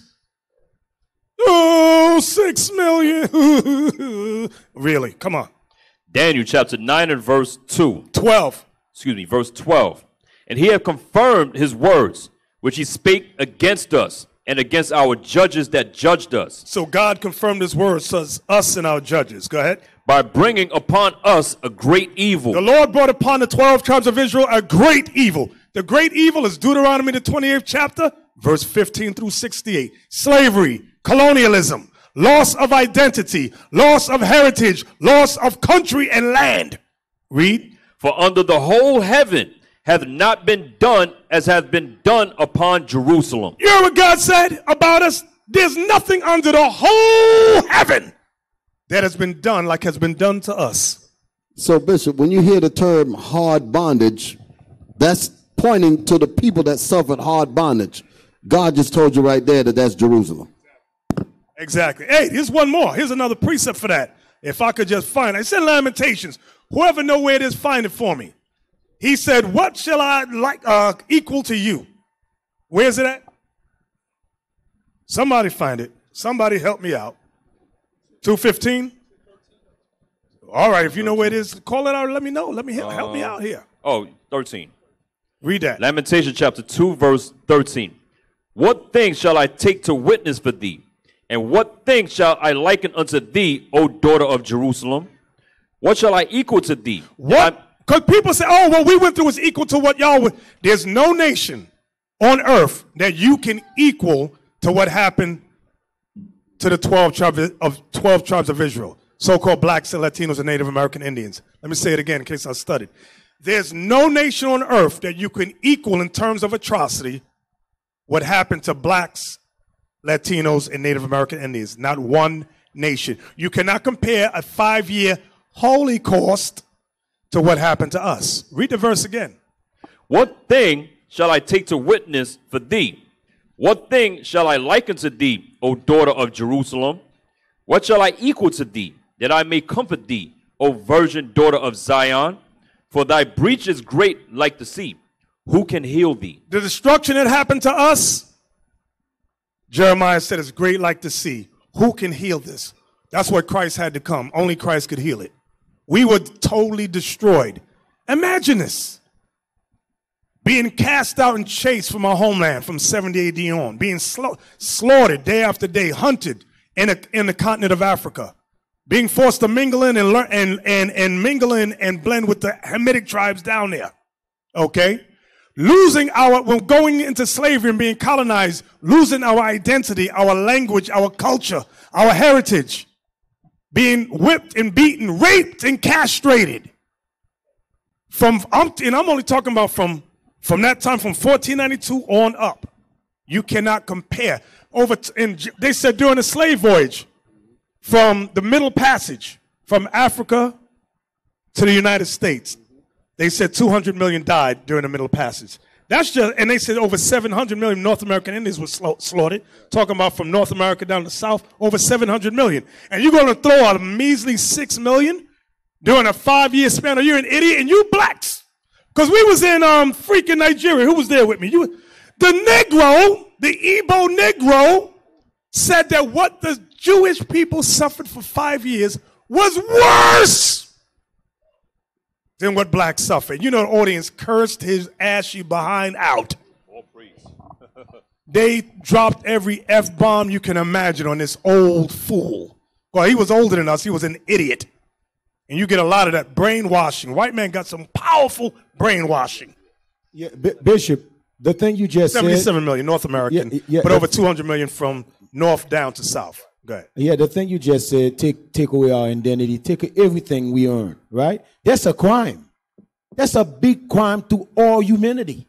yeah, think about it. We in the bottom, somebody somebody take everything from you. You understand? That's a crime. He need to be judged for his crime. You understand? And then why they're sitting there lying on TV? You know me what I was watching when the homeboy was talking? That that uh, yeah, the white boy was talking. You see how confident he is in his lies? Yes. It's the same his whole business uh, uh, uh, things on earth. You see me how they're so confident in, in their lie. That's why I'm watching. I'm like, that's the same spirit that's showing. Uh, uh, uh, uh, what was it that uh, in, in New York, the, stock market, Mm-hmm. whatever they're, they're into, is a lie, bold lie spirit that cover white people, man. Exactly. Watch this. Aristide, former President Aristide of Haiti, he attempted to sue France for the slavery that they endured. You know what? France said, You owe us for the monies we lost for not having you as slaves. And, and Haiti got to pay them back. Can, you- can, you, can you imagine this evil stupidity? That's some diabolical right. we owe you for the money you lost from having us as slaves. That's if y'all don't know what evil is, just that's, think about that. That's minute. the white man being the devil. That's it right there. He's the, he's that devil that the Bible speaks of. That's the same That is thing. something that- else. That's the same thing these demons doing to Africa right now. They told Africa, I tell you what, you you you put your money in our bank. We give it to you when you need it. We're gonna take your money, we're gonna invest it and make more money. Do not put your own money in your own bank. No, that's not don't work with us. But they go behind that, they collected five hundred billion dollars from Africa resource. Think about it. They're going your country that took 500 billions out of your resource. You own children who have no shoes to put on their feet. The money you make, they said, I tell you what, I'm going to let you borrow 40 million dollars, but you got to still give me 500 billion. Wait a minute. Why would I give you 500 billion when I need 40 million? I got to come to you. Who the hell are you? That's the devil. Bishop, that statement that you made, that, that thing didn't sink in those heads about that France, France and Haiti. France basically looked and said, listen, America got paid by robbing us. And they said that they said they got a chance to exploit, rape, rob, and murder. And what that did, that set America up on a higher status than France. So France said, wait a minute, you owe us because we didn't get what America got. So you got to pay so that we can be at least close to the robbery that America did to the so-called Negroes. Just think about that. Exactly. And think about it. Guinea in Africa, Guinea, who cried for independence around 1958 from France. France said, You want independence from us? They said, Okay, burn down their hospitals, burn down their schools, fill up their, the, the uh, sewers with cement, destroy their farms. Now then they say, Okay, we're gone now. You're independent. You gonna tell me that that's the people of God? that they white people suffer more than us? You're insane. To even, I wouldn't give it a second thought when somebody says that. I look at them and laugh in scorn. That's because of such evil, such such evil. Let's go on back to Greg Laurie, because he ain't this devil ain't finished. Not once, not twice, but hundreds of times. We have so many prophecies that have been made and have been fulfilled that we can look back now in retrospect. And then there are those prophecies that are being fulfilled and prophecies that are yet to be fulfilled. But understand this it's not a big stretch for God to predict the future.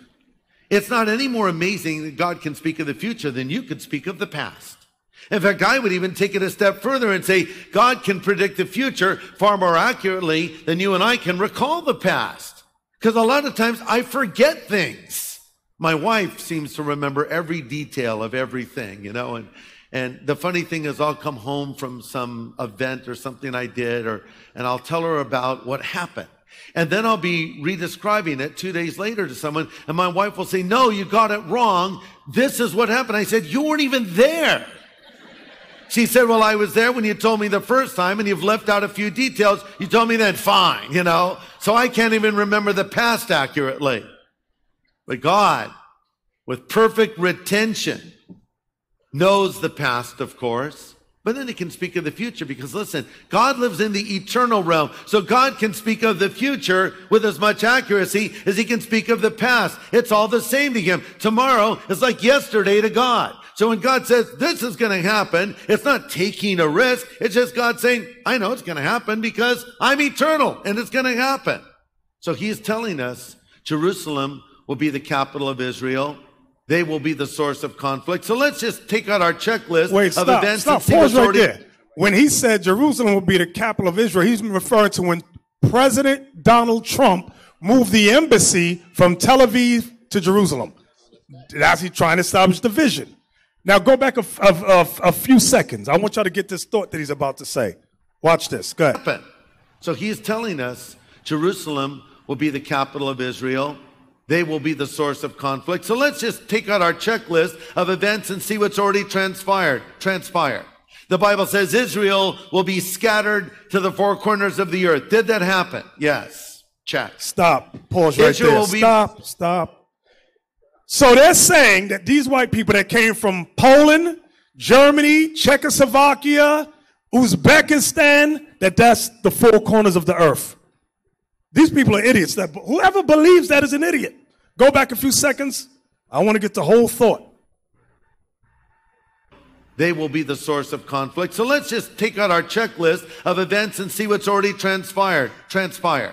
The Bible says Israel will be scattered to the four corners of the earth. Did that happen? Yes. Check.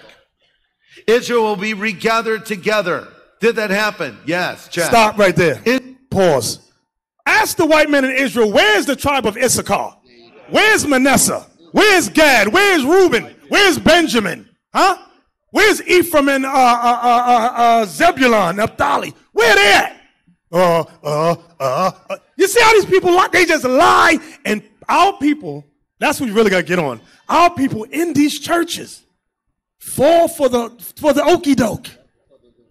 Cause of the whiteness, cause of his red, pink skin.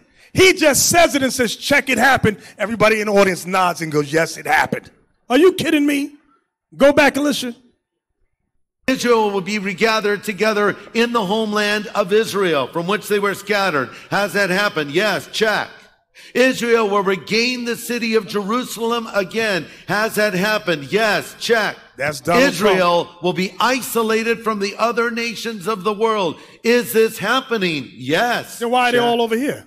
Them little red Israel will be attacked by a nation to her north, bent on her destruction. Has that happened? Not yet. Oh, God. But it's in process. Oh my God! Now he's Yes, he's basing that on Ezekiel uh, 38, but Ezekiel 38 ain't talking about them people that live over there.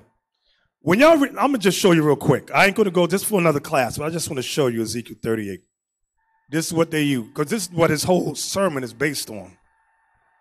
Ezekiel 38, when Gog and Magog goes against the land of Jerusalem. Now, they use this chapter to go, see, this is what's going to happen. Let me show you how it's not talking about them. Uh, mhm, and thou shalt come on the way. Let me see. Bear with me a second. Around 14. Yeah, let's read verse 8. Verse Ezekiel chapter 38 and verse 8. After many days thou shalt be visited.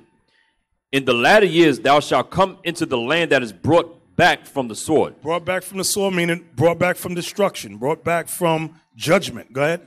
And is gathered out of many people The Israelites will come out of many people, of many nations. Go ahead. against the mountains of Israel, mm, They will come against the mountains of Israel. Watch this. which have been always waste. Even to this day, the land is always waste. Go ahead. But it is brought forth out of the nations. But it is brought forth out of the nations. And they shall dwell safely, all of them. Are those people over there dwelling safely? Hell no. So this chapter is not talking about this time period. It ain't talking about that. Now, why? I mean, there's some more. Uh, look at verse 11. Yeah, verse 11. Thank you. Verse 11. And thou shalt say, I will go up to the land of unwalled villages. This is what the nations will say. Thou shalt say, I will go up to the land of unwalled villages. Go ahead. I will go to them that are at rest. Are they at rest over there? No. No. Go ahead. That dwell safely. They don't dwell safely over there. There's always some kind of problem over there. Go ahead. All of them dwelling without walls and having neither bars nor gates. We've been there. There's bars and gates around the land. So this has nothing to do with those people over there today. In fact, if you want to know what this is really talking about, we've gone over it before. Go to Revelation 20. This is what it's talking about. Revelation chapter 20. Let me see the verse. Is it verse 4? Where is it? Where am I going? Somebody help me. Uh, three. Is it three? Let me look. Revelation, after many years, should I be visited? Uh, verse 8. Verse 8. Start Re- at 7. Revelation chapter 20, verse 7. And when the thousand years are expired, Satan shall be loosed out of his prison. The white man shall be loosed out of his prison after a thousand year reign of Christ. Watch this. And shall go out to deceive the nations which are in the four quarters of the earth. Let's see what some of these nations' names. Go ahead. Gog and Magog. That's Ezekiel the 38th chapter. Gog and Magog. Go ahead. To gather them together to battle. Uh huh. The number of whom is as the sand of the sea. Read. And they went up on the breadth of the earth and compassed the camp of the saints about and the beloved city. The saints are Israelites when we're brought back to the land. When the 12 tribes of Israel are brought back to the land after a thousand year reign with Christ, Satan going to be loose, try and come up against us again. Read. And fire came down from God out of heaven and devoured them. Yeah, you can read about that in Obadiah verse 18. So now let's go back to Revelation 2. If y'all got it, you got it. If you slow, you blow. I don't know if y'all caught that thing right there. That's an old school expression. They go, I don't get that thing. Go back to Revelation chapter 2 and verse 9 again. I'm a, I'm a, what time is it? All right, I'm going to speed it up a little bit because I kind of lingered on that. Revelation chapter 2, verse 9. I know thy works, and tribulation and poverty, but thou art rich. And I know the blasphemy of them, which say they are Jews and are not, but are the synagogue of Satan. So that's talking about Idumea, Edom. That's who it's talking about. Go ahead. Fear none of those things which thou shalt suffer. Behold, the devil shall cast some of you into prison. Uh oh, the devil shall cast some of you into. Let me give an example of the devil casting some of our people here in Smyrna into prison. Give me Acts 12, 1 through 5. I want to see who the devil is. So you don't think it's some type of racist rhetoric. The book Who's the devil casting people into prison? Go ahead. chapter 12, verse one Mm-hmm. Now, about that time, Herod the king Herod the king, that's an Idumean leader, an Edomite. Go ahead. stretched forth his hands to vex certain of the church. Now, Herod was of Rome. Go ahead. And he killed James, the brother of John, with the sword. And because he saw it pleased the Jews, he proceeded further to take Peter also. Then were the days of unleavened bread. And when he had apprehended him, he put him in prison. Put him where? In prison. What did Rome do? Put him in prison. the devil shall cast some of you into prison. I hope y'all wrote that down. So understand this. This is not any kind of racist rhetoric. This is straight Bible fact. Let's go on back to Revelation 2 now. Revelation chapter 2 and verse 10. 10. Fear none of those things which thou shalt suffer. Behold, the devil shall cast some of you into prison, that ye may be tried, mm-hmm. and ye shall have tribulation ten days. So Christ told the church of Smyrna, you're going to have tribulation 10 days. Go ahead. Be thou faithful unto death, and I will give thee a crown of life. He said, Be thou faithful until death, and I will give thee a crown of life. Give me that in uh, Psalms 116, verse 15. Psalms 116, verse 15.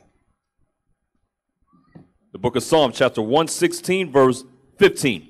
Precious in the sight of the Lord is the death of his saints. That's why Christ told the church of Smyrna, Be thou faithful unto death, and I will give thee a crown of life. Back to Revelation 2, verse 11, please. Revelation chapter 2, verse 11. He that, he that hath an ear, let him hear what the Spirit saith unto the churches. He that overcometh shall not be hurt of the second death. If you overcome, he says, you will not be hurt of the second death. Well, what is the second death? Go to Revelation 20, verse 11. What is the second death? Revelation chapter 20, verse 11. Mm-hmm. And I saw a great white throne, and him that sat on it, from whose face the earth and the heaven fled away. Meaning, when the Lord comes, nobody got nothing to say. I want you women to understand that you ain't arguing with God. Ain't gonna be no if, ands, or but. Except before whose face the earth and the heaven fled away. That's how dreadful it's gonna be. Read. And there was found no place for them. Mm-hmm. And I saw the dead, small and great, stand before God. So John saw the dead, small and great. Go ahead, stand before the Lord. Read. And the books were open. And the books, plural, were open, meaning the Bible and the books on your life were opened. Read. And another book was opened, which is the book of life. Mm-hmm. And the dead were judged out of those things which were written in the books, according to their works. And the sea gave up the dead, which You know how people like to say, I don't want to be buried in the ground. Scatter my ashes in the water, in the sea. Or ships have crashed like the Titanic, the unsinkable Titanic. And all them uh, Edomites died in the ocean with Leonardo DiCaprio in the movie. Read that part again. verse 13. And the sea gave up the dead which were in it, and death and hell delivered up the dead Right, those that's in the earth, in the grave, in the mountains. Go ahead. which were in them. And they were judged every man according to their works. And death and hell were cast into the lake of fire.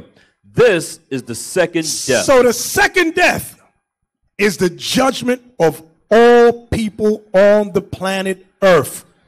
Christ told the church of Smyrna, if you endure to the end, you, the- second death will have no power on you. You don't have to fear that. Jump over to verse, uh, say in the same book, verse 5.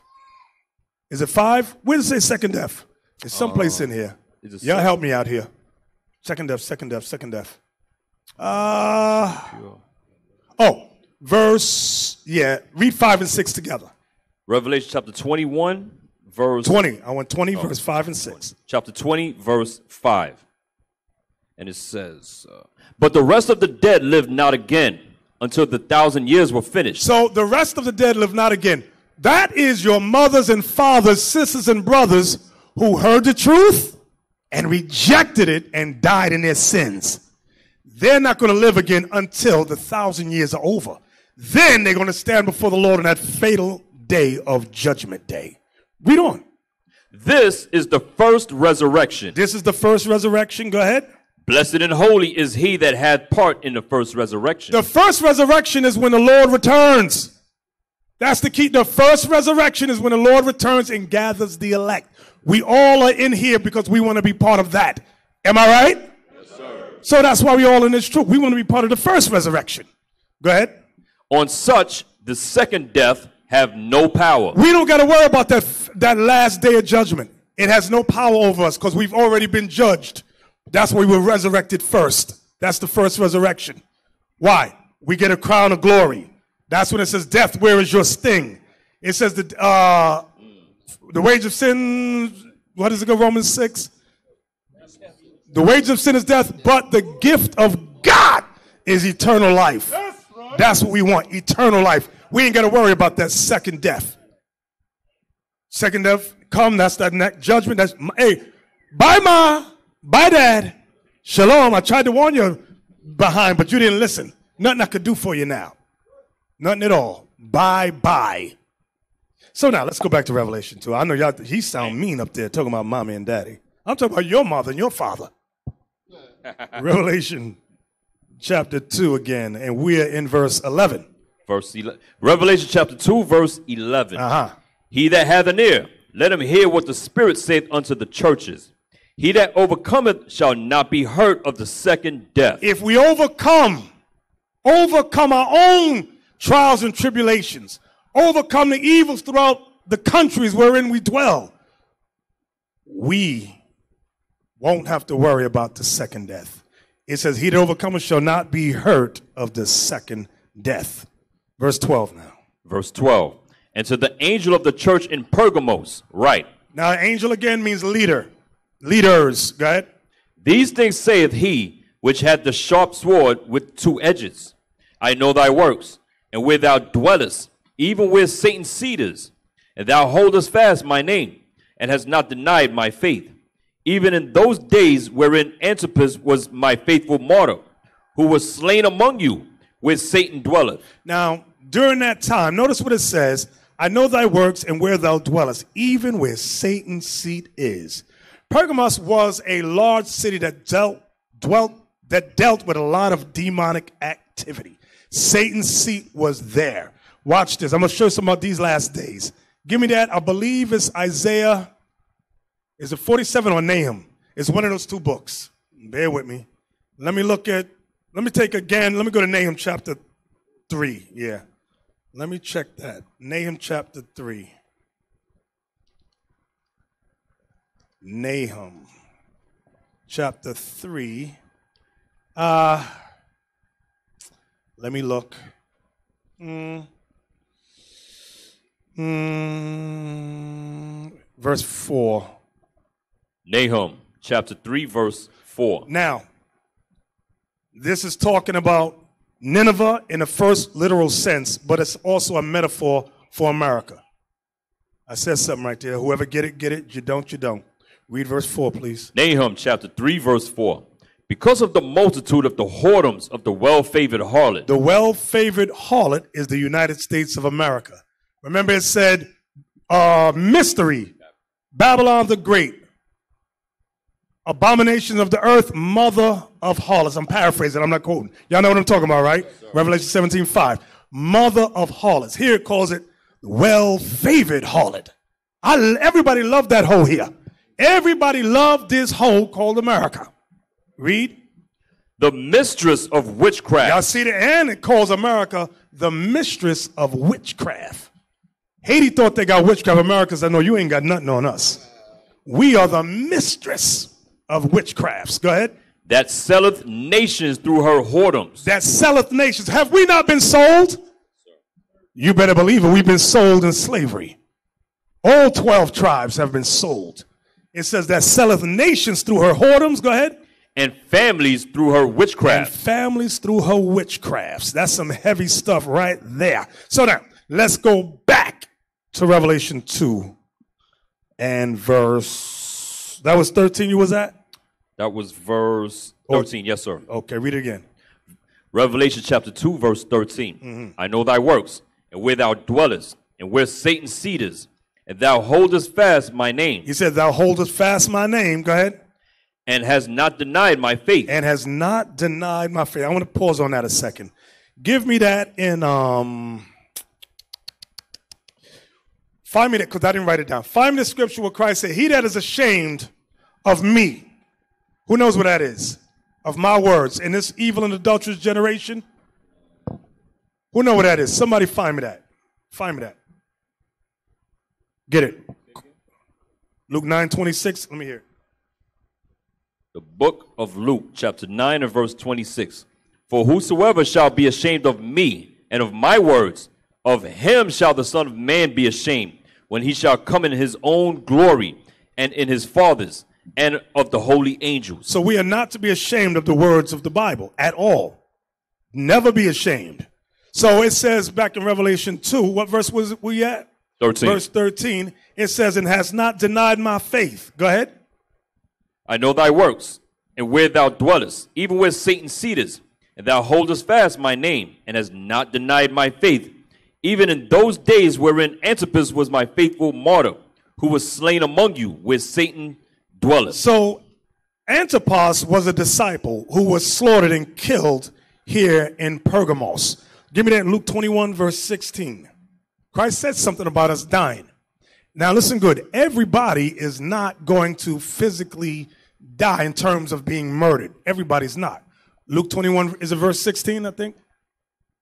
Uh, Read yes, it. yes, sir. Luke 21, verse 16. And ye shall be betrayed both by parents and brethren and kinsfolk. Have we, even in this time, we've been betrayed? We have been, have we not seen betrayal in 2018? Yes, sir. We've been betrayed on a major level, and it's going to get worse. Go ahead. And friends. And friends, so called friends, brothers and sisters that sat with us, ate with us, break bread with us, watched our children. We watched their children. We travel with them. They betray, some of them betrayed us. Go ahead. And some of you shall they cause to be put to death. That's the part I wanted to get to. Some, some, some, not all, some of you shall be put to death. Some of us are slotted to die in this truth, meaning being put to death. Some. Let's go back. Revelation chapter 2, verse 14. Mm-hmm. But I have a few things against thee, because thou hast there them that hold the doctrine of Balaam, who taught Balak to cast a stumbling block before the children of Israel, to eat things sacrificed unto idols, and to commit fornication. So here's another uh, division in the church. This is why I prefaced it with 1 Corinthians 1, verse 10 and 11, where Paul said, I got a problem with you. Some of you say you only follow Paul. Some of you say you only follow Peter. Some of you say you only follow Apollos. And the last group say you don't, you don't follow no man, you follow Christ. So now you got these issues in these churches here. You had a group in the church who followed the doctrine of Balaam. What is the doctrine of Balaam? Give me 2 Peter 2.15. What is the doctrine of Balaam? I'm going to go with Peter first. Then I'm going to backtrack. Second Peter chapter 2, verse 15. Mm-hmm. Which have forsaken the right way, and are gone astray, following the ways of Balaam, the son of Bosor, who loved the wages of unrighteousness. Who loved the wages of unrighteousness. I want you brothers and sisters to listen good to me about this part here. Balaam loved the wages of unrighteousness. He was covetous. All he was about was the money.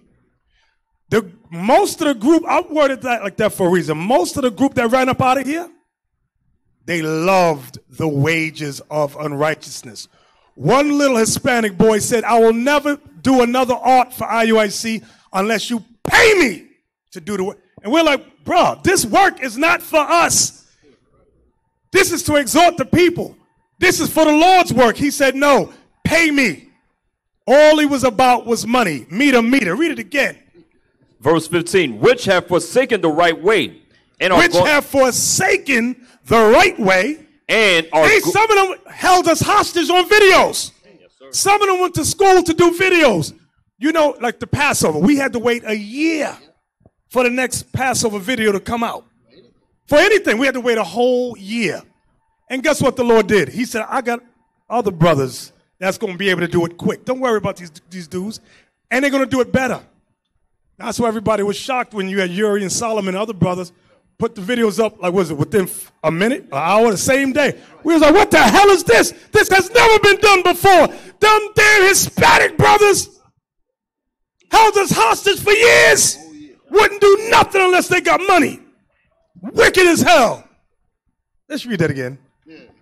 which have forsaken the right way, Which have forsaken the right way and are gone astray, and are gone astray following the way of Balaam. They have followed the ways of Balaam. That's who we just read about in Revelation. Go ahead. The son of Bosor. The son of Bosor. Who loved the wages of unrighteousness. Who loved money. Money. Money, money, money, money, money, money, money. Make my teeth white. Huh? Yeah, money, money. I, got can't my voice. Money, money, money, money. Y'all remember that song? Some people got to have it. Oh yeah. Believe it or not, some people still sitting up in here follow Balaam. Some people still follow Balaam. They don't give a damn about this truth. They look at the videos and go, remember, remember there was a certain Israelite, I ain't gonna call his little raggedy name. He said, freeze the video. And he said, give me a pen. And started counting heads. One, two, three. Then started doing multiplication on shirts and posters. All his whole thing was money. And not just this one group, a lot of them groups. Because then they said, you know what I could do with that money? I got five wives. I could buy them all new cars and new shoes and this and that. Listen, that, it ain't right. It ain't about the Lord at all. It's taking care of them hoes they got, the multiple hoes. That's what it's about. Read that again, Hey, verse Bishop, 15. Yes. Remember that brother that was sitting by the door counting how many garments? Yes, the brother that used to be with garments? us, counting He used to be garments. with us. He was counting how many Passover garments. So he's like, oh yeah, he, that brother make that amount of money. He make this amount of money. It was all about money. Exactly. So, J- Christ reminded John for the church of what church was that? That was um, Pergamon, right? Yes, sir. About some of them in the church followed the doctrine of Balaam. Peter said Balaam loved the wages of unrighteousness. All he cared about was money. He didn't give a damn about the gospel. Let's get some more. What else? What other qualities did he have? Numbers 25 and 1. Numbers 25, verse 1. Something else, too. The book of Numbers, chapter 25 and verse 1. And Israel abode in Shittim, and the people began to commit whoredom with the daughters of Moab. Now, you'll notice this. And Israel abode in Shittim, and the people began to commit whoredom. Whoredom with the daughters of Moab. Now, you may say, okay, I know, what does this got to do with Balaam? Watch this. Numbers 31, verse 15. 31, verse 15. Watch what Moses said about this. The book of Numbers, chapter 31 and verse 15. And Moses said unto them, Have you saved all the women alive? Because we went to war, and Moses said, Have you saved all these women alive? Go ahead. Behold, these caused the children of Israel through the counsel of Balaam to commit trespass against the Lord in the matter of Peor. And there was a plague among the congregation of the Lord. So you see what happened? Balaam gave counsel. He said, We can't beat the men. They're going to destroy you. But I got an idea. Send women amongst them. Remember during the turbulent 60s, when you had the black pan, all them black radical groups, what did white men do? Send the white woman. They did a joke on it in that movie, uh, Undercover Brother with Eddie Griffin. They said, We can't take them down. Send in the black man's kryptonite. Then you had the white woman in the white leather outfit, the long blonde hair, come in slow motion. You know what uh, uh, uh, Dave Chappelle said? Everything looked good in slow motion. So the white woman came walking in with a tight leather outfit on, white, light, white, tight leather outfit on, doing the hair like Betty with the good hair. What is her name? Not Betty. What's her name? Uh, Betty, Becky, Becky with the good hair, flowing it back. And Eddie Griffin, all the brothers in them too was uh, uh. So Balaam said, send in the white woman. So I said that to say this. There was a there was some stats done that said once the Loving case, remember Loving v. Loving against Virginia, the first interracial couple that got married, they said after that, black men, black and Latino men went crazy. They said there's no other race that has done among men, talk about men, the gender of males, have done more interracial marriage than black and Hispanic men. No other race can compare to you guys. That removed, the inhibition. That removed, yeah. Once they did that thing, they said you look at all the other men of the other nations. They said not like the black and uh, Hispanic man has done. They love marrying outside their race, their people. So when a white man and other nations send in their women, believe me, it's for a political reason. And notice what they do. I want you to listen to what I'm about to say. Anytime you get a black man who makes good money, rich, whether he's an athlete, an entertainer, you got a certain group of white women that they send in.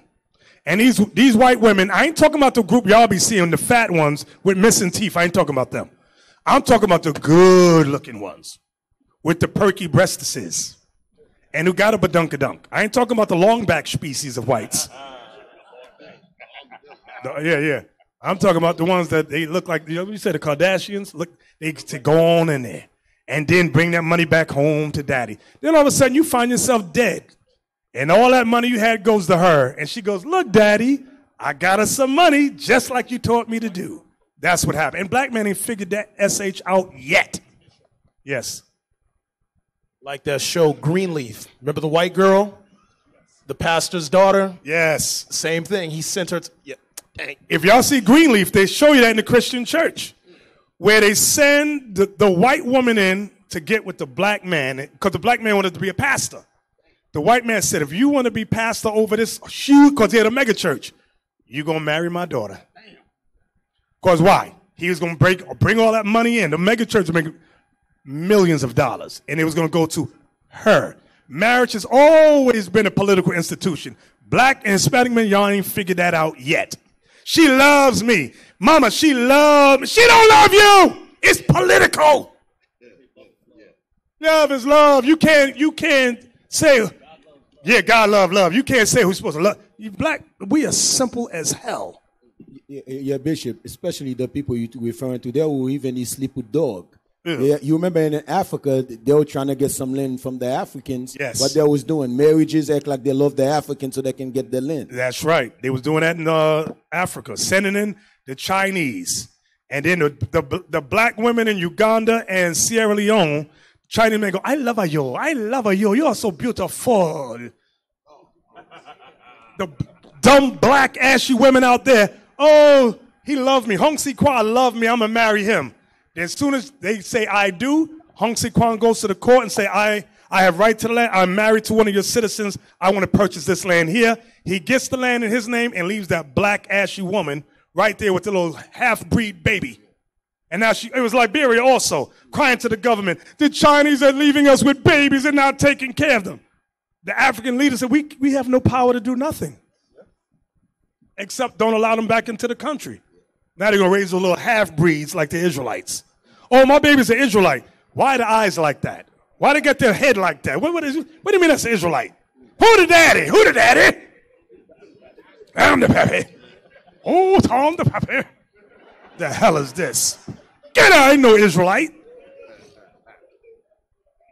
Let's go on back now. We back in Revelation 2. What verse we at? We are at verse 15. Go ahead. Revelation chapter 2, verse 15. Mm-hmm. So hast thou also them that hold the doctrine of the Nicolaitans, which thing I hate. So again, in this church also, you had some there that held the doctrine of the Nicolaitans, which worshiped the Greek god Nike, the Greek god of victory. So you had these idolaters in the congregation. Go ahead. Verse 16 Repent, or else I will come unto thee quickly, and will fight against them with the sword of my mouth. He said, That group, I'm going to fight against them with the word of God. I'm going to kill them. That's what he's warning them in uh, Pergamos. Go ahead. He that hath an ear, let him hear what the Spirit saith unto the churches. To him that overcometh, To him that overcometh, will I give to eat of the hidden manna. will I give to eat of the hidden manna. Now that hidden manna right there, the hidden manna. Give me the uh, John 6 31. What is the hidden manna? Remember when we came out of Egypt, God uh, sent manna from heaven so that we could eat. And we were satisfied and made healthy by that. It- they called it angel's food. Okay? So give me that in John 6 31. John chapter 6, verse 31. Watch what Christ says about that manna from heaven. Our fathers did eat manna in the desert, as it is written, He gave them bread from heaven to eat. Then Jesus said unto them, Verily, verily, I say unto you, Moses gave you not that bread from heaven, but my Father giveth you the true bread from heaven. Mm. For the bread of God is he which cometh down from heaven, and giveth life unto the world. For the bread of God is He, is He. Christ is teaching us that manna from heaven represented Him. That's some heavy stuff right there. Read it again. Uh, verse 32. Then Jesus said unto them, Verily, verily, I say unto you, Moses gave you not that bread from heaven, but my Father giveth you the true bread from heaven. For the bread of God is he which cometh down from heaven and giveth life unto the world. Unto the world of Israel. Read. Verse 34. Then said they unto him, Lord, evermore give us this bread? Give us this bread, Lord, evermore. Come on, go ahead. And Jesus said unto them, I am the bread of life. So Christ said, I am the bread of life. That manna from heaven, that represents me. I am the bread of life. Go ahead. He that cometh to me shall never hunger. He said, if you come to me, you follow me, you will never be hungry again. Go ahead. And he that believeth on me shall never thirst. And you will never thirst. Read. But I said unto you, that ye also have seen me and believe not. He said, You've seen me, but yet you don't believe. They saw the miracles that Christ did. They heard the great wisdom, but they still did not believe. Read. All that the Father giveth me shall come to me. See that? Those of us that come to Christ, we were chosen by the Father already. The Father said, This one's going to come to Christ. This one. And guess what? They're going to stay with Christ. Go ahead. And him that cometh to me, I will in no wise cast out. He said, If you come to me in sincerity, I'm not going to cast you away. Read. For I came down from heaven, not to do my own will, but the will of him that sent me. See that Christ said, I came not to do my own will, but the will of him that sent me. Watch this, watch this. Give me 2 Corinthians 4 3, please. We're going to come back. 2 Corinthians 4 3. The book of Second Corinthians, chapter 4, verse 3. About that hidden manna. Watch this. But if our gospel be hid, If our gospel be hid. Remember, we were reading about the hidden manna.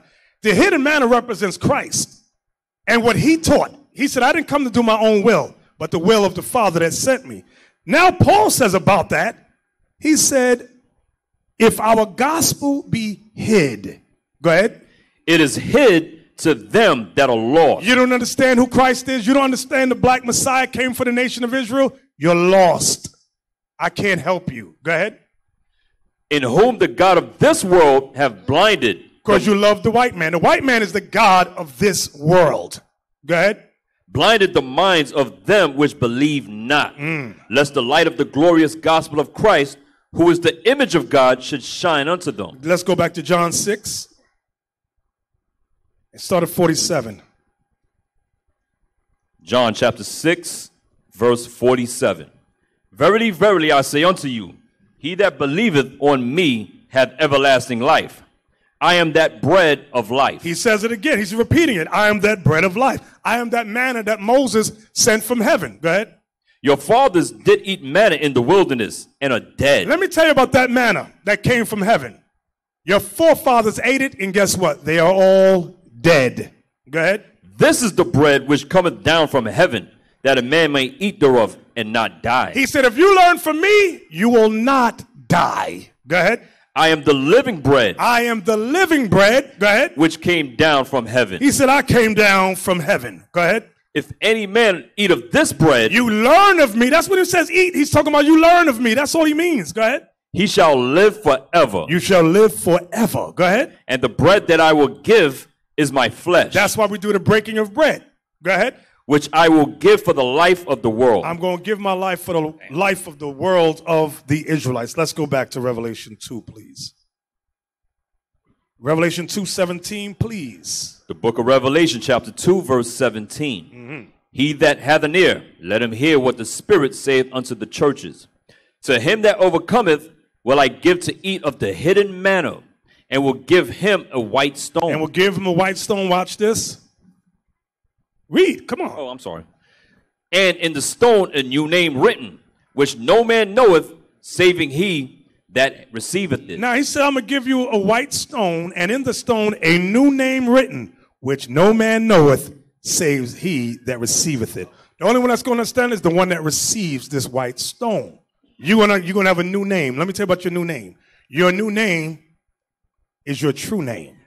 I'm going to say it again. Your new name is your true name. I'm going to give you a precept. Give me 2nd Ezra 9:18. Second Esdras chapter 9 and verse 18. The book of Second Ezra, chapter 9 and verse 18. Mm-hmm. And now, This is the Lord speaking. when I prepared the world, When I prepared the world, which was not yet made, which was not yet made, even for them to dwell in that now live, even for them to dwell in that now live, talking about the Israelites, no man spake against me. you didn't speak against me. So what is he saying? We were all with him in the very beginning. We were all with him in the beginning before he prepared the world. We were there. That's why we didn't speak against him. We were there and we were all in agreement to what God's plan was. What did he do? He wiped, give me that uh, Ecclesiastes 1 about there's no mem- memory. Give me that. 1 verse 11. Well, why don't I remember? The Bible teaches you why you don't remember. Now, I know this might go over a lot of y'all heads. Some of y'all going, What? I just came out of my mama's behind last week. No, no. No, you didn't. Read that. Ecclesiastes chapter 1 verse 11. There is no remembrance of former things. There's no remembrance of former things, meaning the former lives we had, there's no remembrance. Was that the whole verse? No, sir. Go ahead. Neither shall there be any remembrance of things that are to come with those that shall come after. That's why when the, when the people asked John the Baptist, Are you Elijah that the scriptures prophesy? John said, No. But then Christ came and said, John is Elijah. And what the hell you mean John is Elijah? He just said he's not. Read verse 11 again, the top part. There is no remembrance of former things. There's no remembrance of former things. Go back to 2nd Ezra 9.18 again now. Second Ezra chapter 9 and verse 18.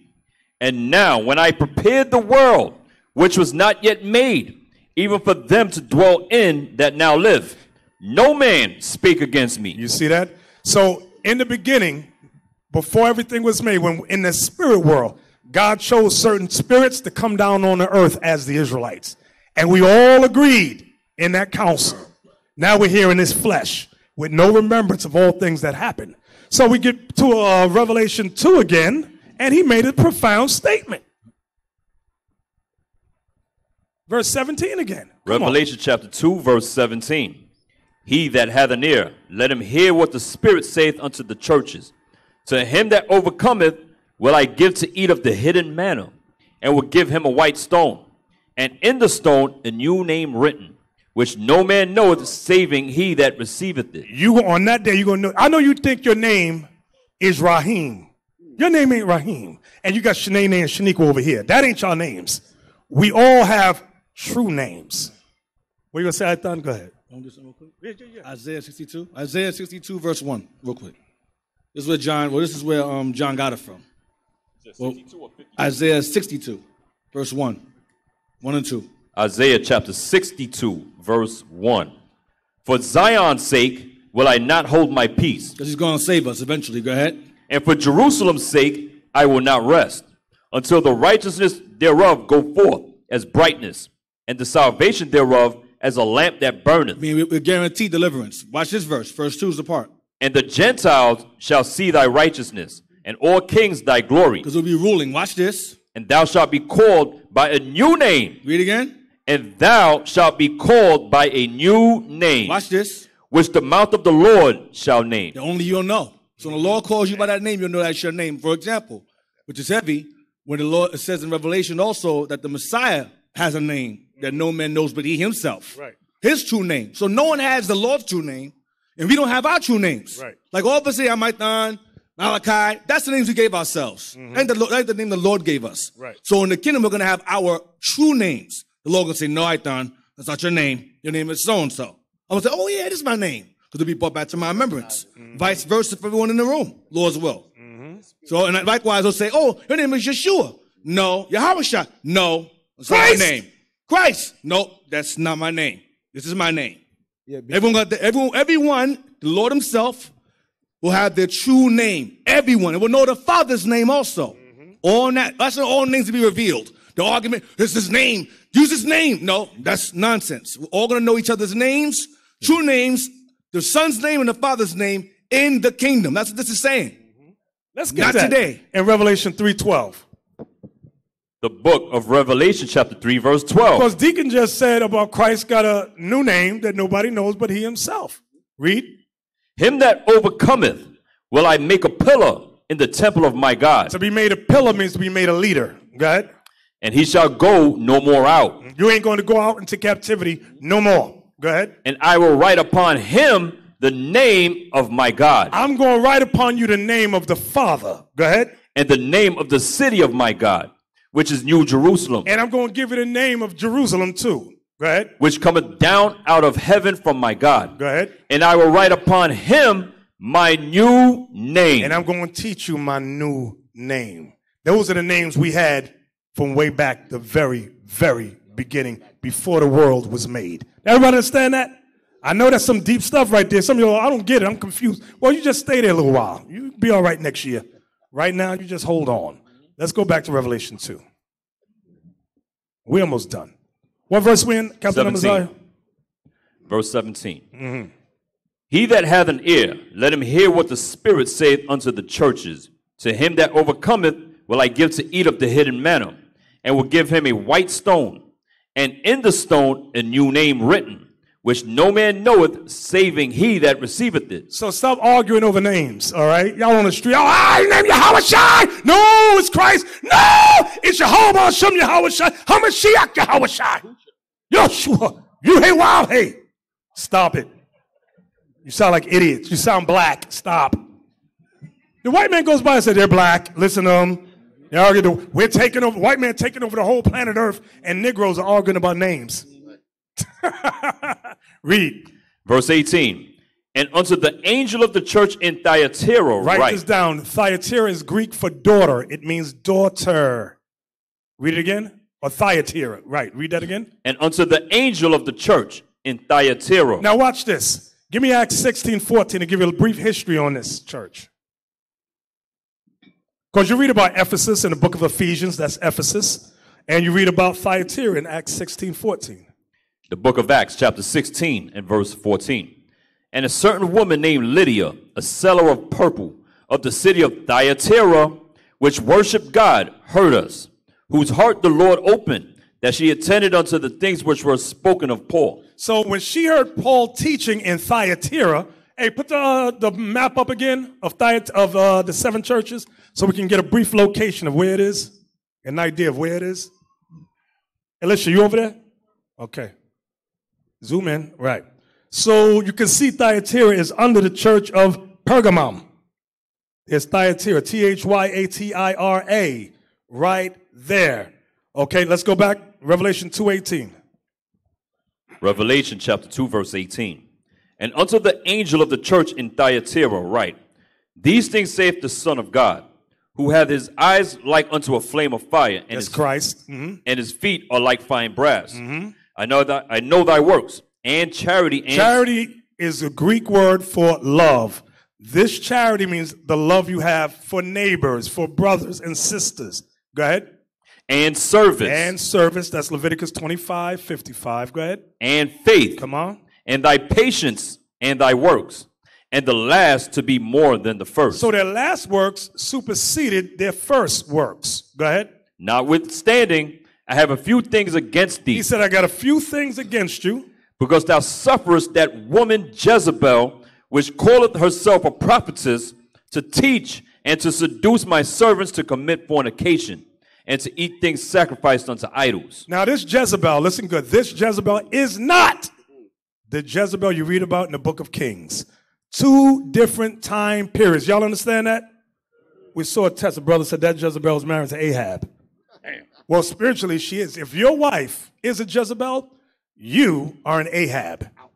What are the qualities of an Ahab? Weak, mentally insecure, allows the wife to do whatever the hell she wants. Some of you men listening are Ahab. Some of you men listening are married to Jezebel. Jezebel is sitting in here. Jezebel is listening online. Some of them. Read it again.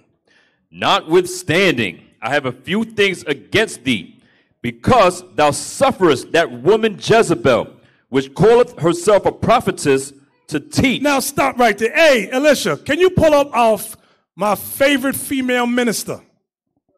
Go ahead. Just play it from right there. You got a church experience. You don't have Jesus. That's why he said, I come in the volume of the book. That's why everything that he spoke and people that he prayed for, they were instantly healed because there was no scriptures missing. Look at the women. Look at the women, though. Jumping up and down. Okay, cut that off. Cut that off. Lord, I- This is a Jezebel spirit.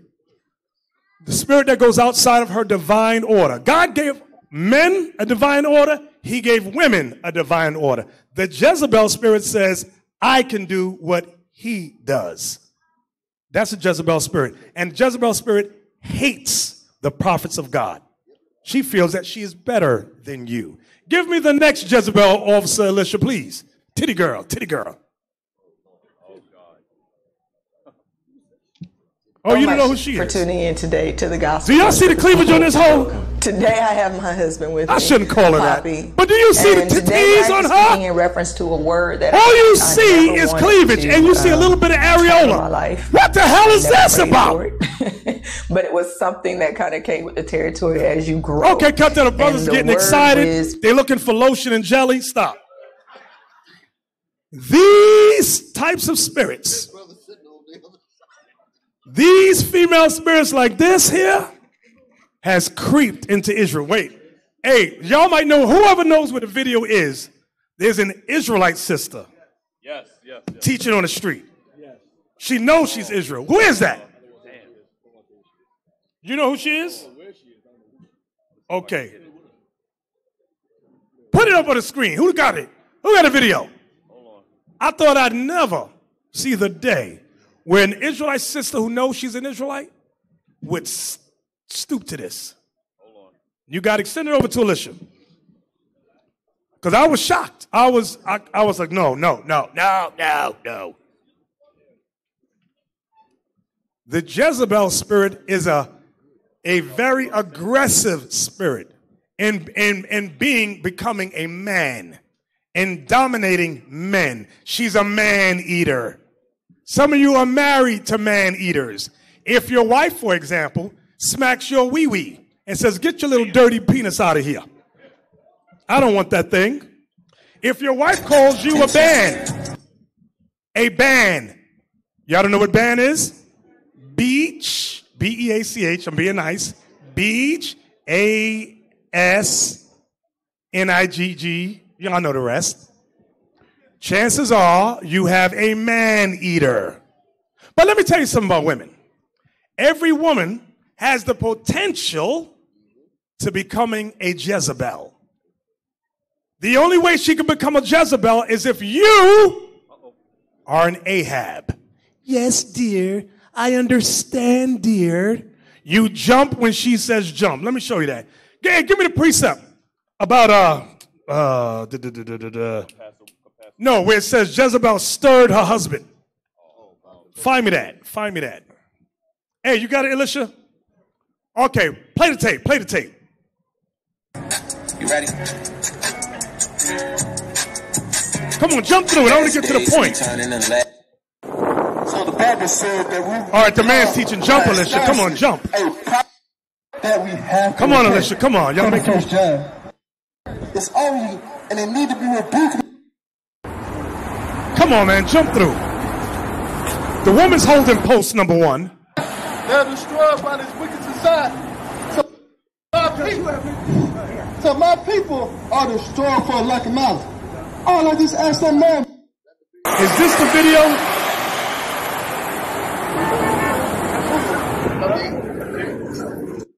Go back. Go to the first one then. So you need to keep the law statutes. Come on. Uh, Amazon, you brother. I need y'all to stay with me. Don't send the wrong video. Mess up the whole spirit of the move. Come on, y'all. Hey, find me the one about Jezebel stirred up the spirit. Who got it? Uh, First Kings 21. First Kings 21. Watch this, brother. I want you men to listen good to this here. Go ahead. First Kings 21, I'll start at verse 4. And Ahab came into his house heavy and displeased because of the word which Naboth the Jezreelite had spoken to him. For he had said, I will not give thee the inheritance of my fathers. And he laid him down upon his bed and turned away his face and would not and would eat no bread. But Jezebel his wife came to him and said unto him, Why is thy spirit so sad that thou eatest no bread? And he said unto her, Because I spake unto Naboth the Jezreelite and said unto him, What verse you at? That's verse 6. I want 25. Verse 25. Oh, this is what I want. But there was none like unto Ahab. There was none like unto Ahab, a black man. Go ahead. Which did sell himself to work wickedness in the sight of the Lord. Why and how? Whom Jezebel his wife stirred up. You see that? He jumped when she said jump.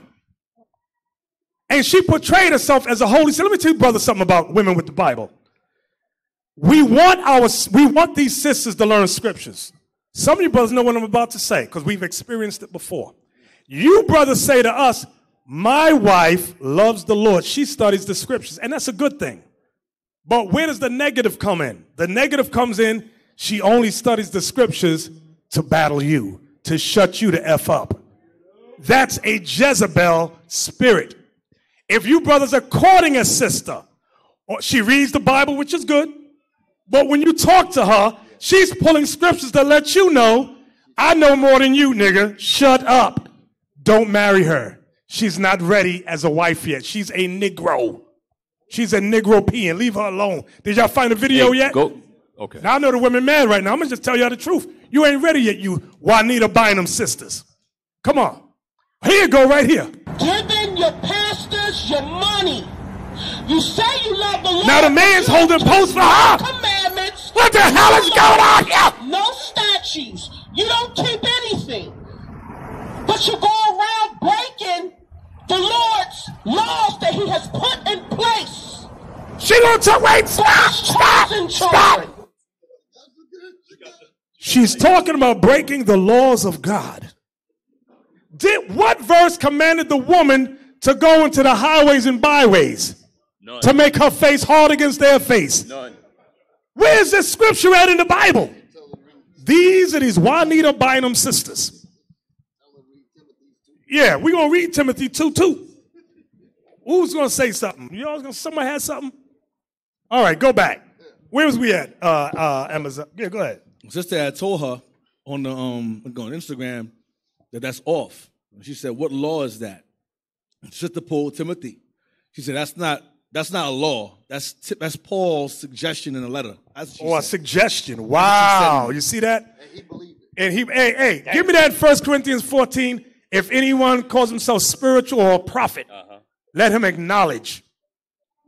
All you sisters write this down. For you sisters that say that's a suggestion or advice that Paul gave. First Corinthians chapter 14, verse 37. If any man think himself to be a prophet or spiritual, let him acknowledge that the things that I write unto you are the commandments of the Lord. You hear what Paul said? Let him acknowledge that the things that I write are the commandments of the Lord. Commandments! For example, when, when Paul wrote, have one wife, guess what that was? A commandment of the Lord. Not a suggestion, a commandment. When Paul said, when Paul wrote, I suffer not a woman to teach, guess what? That wasn't a suggestion or advice, it was a commandment. Right. He also said, as also saith the Lord. Exactly. So now, Amazon, where we at? Um, let's go back to Revelation 2 and verse 19 now. So this is amazing. Now you may ask yourself, what does this got to do with the church of Thyatira? Everything. It has everything to do with the church of Thyatira. It has everything to do today with us. Watch this. I'll read verse 20 again. Go ahead. Notwithstanding, I have a few things against thee, because thou sufferest that woman Jezebel, which calleth herself a prophetess, to teach and to seduce my servants to commit fornication, and to eat things sacrificed unto idols. And I- Stop. What was happening in the church of Thyatira? Let me tell you something real quick. I'm going to show you something in the book of Acts 19. Go to Acts 19. Put the map back up. Put the map back up. Uh, Officer list of the seven churches. Let me show you the relationship that Ephesus, which was the capital of Asia Minor, put up the map again. I'm going to show you something. Y'all see Ephesus, right? On it's on the Aegean Sea on the left. Do your little marker thing, Officer Elisha, so they can see it. That's Ephesus right there. Now go to Thyatira. Thyatira is further up, right under Pergamon, right there. So it's not that far away. Now you may say, well, what does Thyatira have to do with Ephesus? It has everything to do with Ephesus. Watch in Acts 19. Acts 19, let's start at verse 24. Watch this. The book of Acts, chapter 19, verse 24. And a certain man named Demetrius, a silversmith, which made silver shrines for Diana, brought no. Hey, Officer Alicia, go to Google and type in uh, Diana, the goddess Diana. Let's see what she looked like. the Greek goddess Diana, and under images. Who is this Greek goddess Diana? It comes from a, the Canaanite goddess Ashtoreth. Get that. You got me, Alicia? Put it on Google. I want to look at it. Any day now. Any day. Any day. Uh, go down. All right. I, just, I don't want the paintings. I want the actual stone relic. Wait, wait. Uh, no, no, no, no, no, no, no, no. I want nope. I don't want those. These are all transformations. Yeah, type in ancient Diana statue. Ancient, because these are modern. Type in put ancient.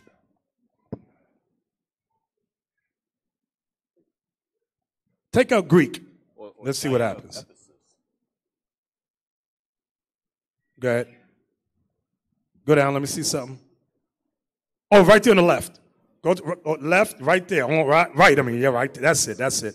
Let's blow that up big. This is what it looked like. Mm-hmm. Blow it up big. Okay. This is the Greek goddess Diana, which was also the Canaanite goddess Ashtoreth, where Easter comes from. The goddess, the moon goddess, also the goddess of fertility. All of those breasts she had. Why? Because she represented sexuality, sex, sex, and most sex. People committed orgies under her reign, under her dominance. Okay? This was about woman, female power, female dominance.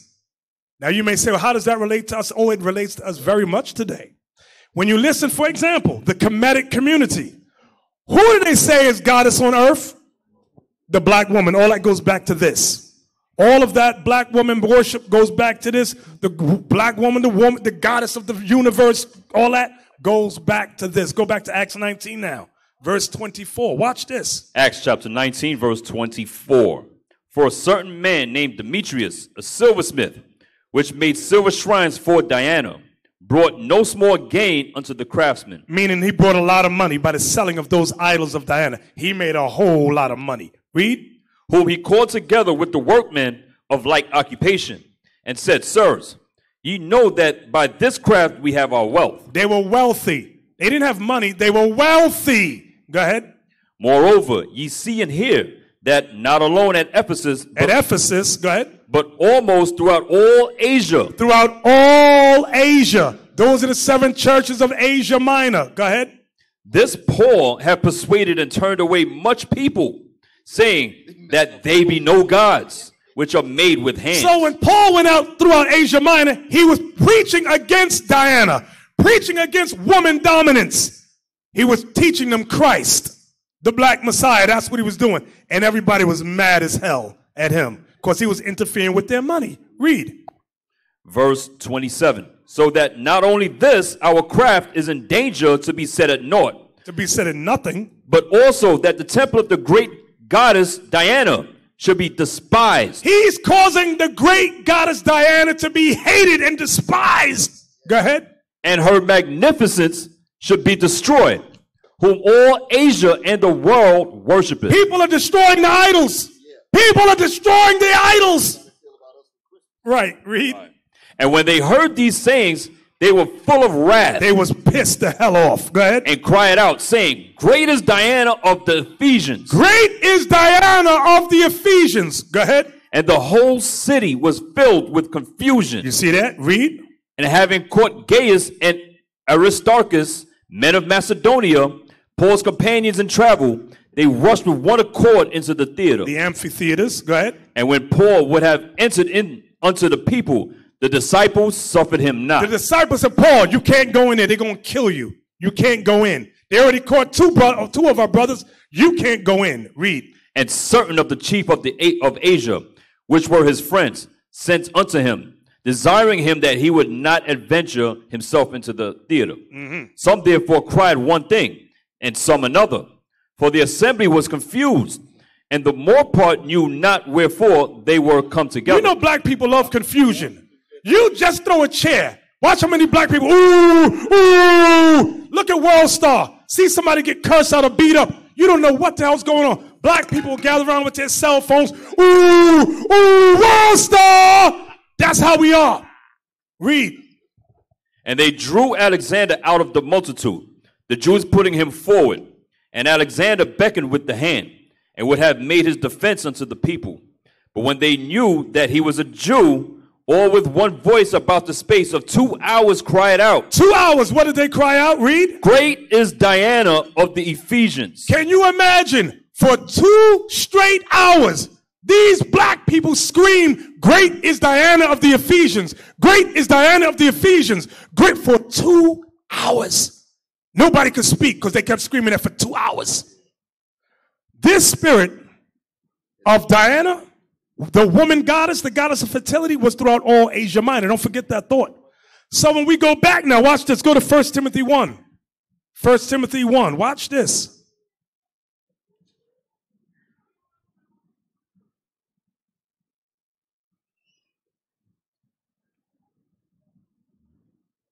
First Timothy chapter 1, verse 1 and 2.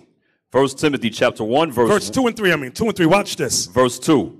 Unto Timothy, my own son in the faith, grace, mercy, and peace from God our Father and Jesus Christ our Lord. Watch this. As I besought thee to abide still at Ephesus. Paul said, I want you to wait at Ephesus. What was the dominant religion? Diana, the goddess Diana. Read. When I went into Macedonia, that thou mightest charge some that they teach no other doctrine. Don't teach no other doctrines. The most famous doctrine was Diana of the Ephesians. Now watch this. Chapter 2, verse 11. First Timothy chapter 2, verse 11. Let the woman learn in silence with all subjection. Why did he have to say that? Because some of the women that were, were repenting used to worship Diana. They brought that woman dominant spirit into the church. Paul had to teach them, shut the hell up. Don't bring that spirit up in here. But women rule. The black woman is the goddess of the universe. Paul said, I suffer not a woman to teach because they wanted to bring those same characteristics into Israel. Feminism, right, thank you. Feminism. Read it again. Verse 11. Let the woman learn in silence with all subjection. With all subjection. Why? Because they were not subjected to the man. Why? Because they used to worship Diana and the women dominated everything. The, women, the men were subservient to the women. Did I say that right? Yeah. The men were subject unto the women. So now Paul had to undo all that garbage. Go ahead.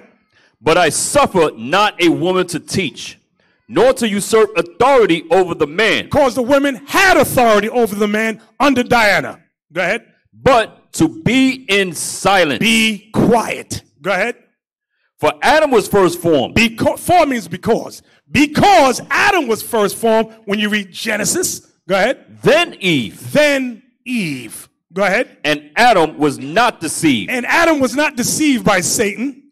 But the woman, being deceived, was in the transgression. It was the woman that was deceived by Satan. So Paul had Timothy to stay in Ephesus to undo all that madness that was going on out there. Let's go back to Revelation. Yeah, go ahead, Aitan. That's why the Bible calls idols devils, because it gives out a, dece- a deceiving spirit of role reversal. Like, for example, today, Diana of the Ephesians is not called Diana of the Ephesians today. She's called the Wonder Woman today. And they put that image all throughout commercials, um, um, at different ads. They'll put women dominating the men all over television, all in action figures, cartoons. You men don't see that? All these movies, a woman be whooping the hell out of men left and right. They're changing all the male superheroes into female superheroes. Iron Man's gonna be a girl now. Wolverine's gonna be a girl now. Hey, in uh, Thor's gonna be a girl now. right? They made the uh, the black woman the queen of Asgard now. Right. The hell is this? So this, this, these are prime examples of them pushing that feminist spirit. Because America is um, yes. Uh, America is Babylon. America. Remember, I said earlier. I said a long time ago. America is a compilation of every captivity we were under Mm-hmm. until this day. Everyone, Babylon, Greece, Persia, Rome, it's all the same. But it all goes back to that feminism, worshiping the females. hey, back to First Timothy. I forgot something. That last verse. How can I forget that last verse? Read verse above it. Uh, yes, sir. For Adam. First Timothy chapter 2 and verse 14. 14. And Adam was not deceived, but the woman being deceived was in the transgression. Notwithstanding, she shall be saved in childbearing. She shall be saved in childbearing. Listen good. That goes back. Give me Genesis 3.16. It does not mean, sisters, just pop out a baby and you're going to be saved. Half of you are single mothers. You ain't going to be saved just on that fact that you can pop out a baby. It goes deeper than that. Genesis 3:16. Genesis chapter 3, verse 16. Unto the woman he said, I will greatly multiply thy sorrow and thy conception. In sorrow thou shalt bring forth children. In sorrow shalt thou bring forth children. Why? It brings to remembrance you trying to usurp authority over Adam. That's what those childbearing pains and those menstrual cramps is all about. Read. And thy desire shall be to thy husband. Meaning you could be subject to your husband in all things, like it says in Ephesians, the fifth chapter. I know the Negropean American black woman, she mad about that. Why I gotta subject myself to the nigger? Because God said subject yourself to the nigger. And if you don't do it, you ain't gonna be saved. I'm saying nigger because that's what they're calling us right now. Some of you, some of you right now, you know your wife call you nigger at home. Don't look strange. We had testimony of that in here by two sisters. Read. And he shall rule over thee. And he shall, what's that word? Rule over thee. See that? The American Negropean one, she don't like that. Only the repentant Israelite woman will accept that. This is the fight Timothy had in Ephesus. Go back. First Timothy chapter 2, verse 15. Mm-hmm. Notwithstanding, she shall be saved in childbearing. Now you understand what the childbearing means. It goes back to her not being subject to her man, getting child pains when she bared forth children. Go ahead. If they continue in faith. If, you say that word, if these women continue in faith and charity and loving of their neighbor as they love themselves and holiness and holiness, meaning the commandments, with sobriety. with sobriety, wisdom. Was that it? Yes, sir. So that's how they're going to be saved. So that's the fight Timothy had with the women.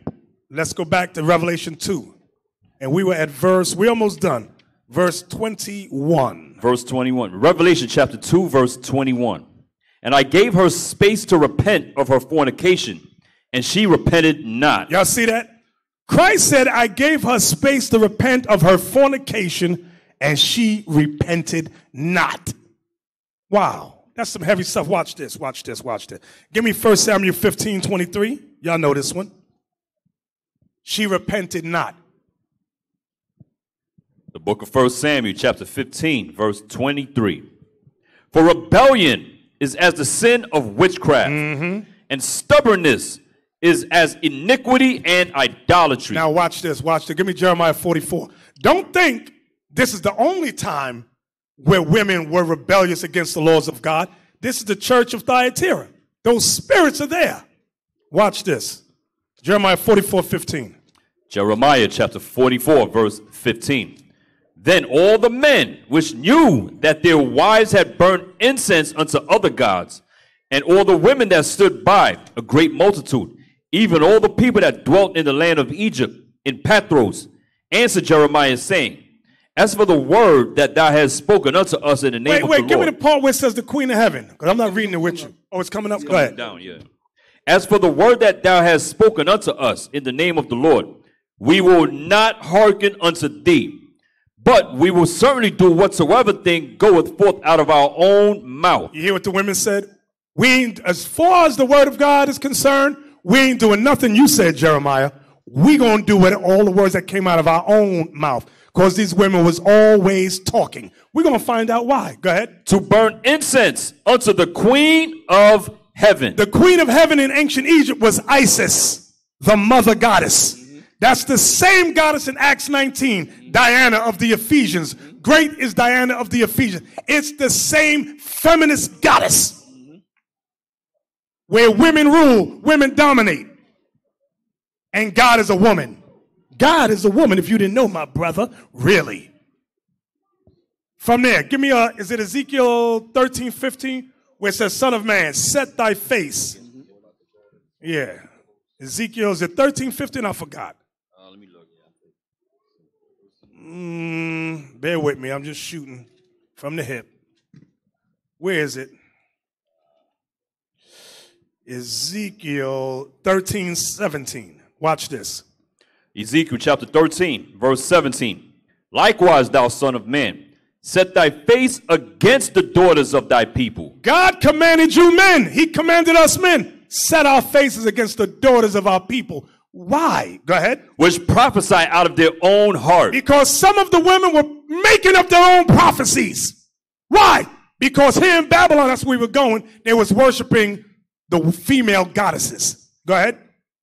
And prophesy thou against them. God commanded us to prophesy against our own black and Latin woman. Some of you men are here scared to do that thing. You go home and your woman is dominating you. You are an Ahab. We say, brothers have said, bro, your wife did A, B, and C. You know what some of you men do? Make excuses. Well, brother, the reason, no, no, Ahab, no, that ain't the reason. Ahab, hey, am I like, you gotta start calling these brothers Ahab when they do that. You see their wife do something evil as hell, and then you tell them husband, and he make excuses for them. He is an Ahab, a weak, feminine man.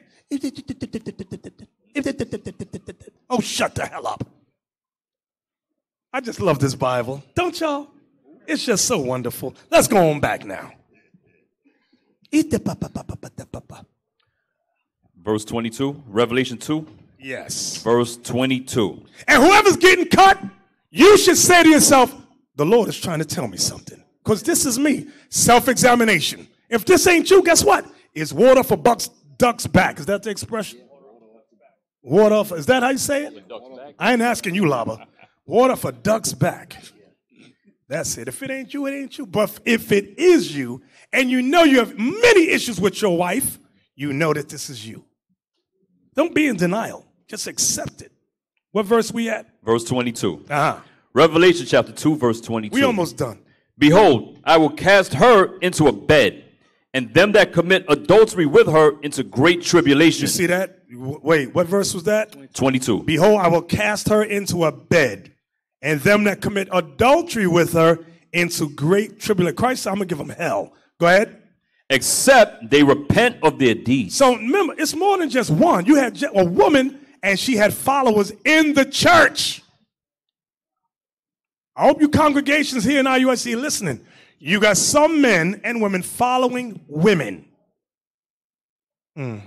I could speak on that some more, but my prayer is that you repent. Go ahead. Verse 23. Verse 23. Go ahead. And I will kill her children with death. You know who her children are? Her followers. I'm going to tell you men something. If you follow a woman, God cannot use you in this great work. I'm going to give you an example in the scriptures. Give me uh, uh, uh, 2 Kings 11 15. Some of you men listening, maybe not up in here, but some of you men online listening, you know you follow a woman. Your wife can do no wrong. She is the mother goddess. Okay. Second Kings chapter 11, verse 15. But Jehoiada, But Jehoiada, the priest, commanded the captains of the hundreds, watch what he commanded captains of 100, the officers of the host, the and, officers of the host. and said unto them, Have her forth without the ranges. Bring, is this Athaliah? Because I'm not reading. Is, is this Athaliah, right? Yeah. Bring Athaliah outside the gates. Go ahead.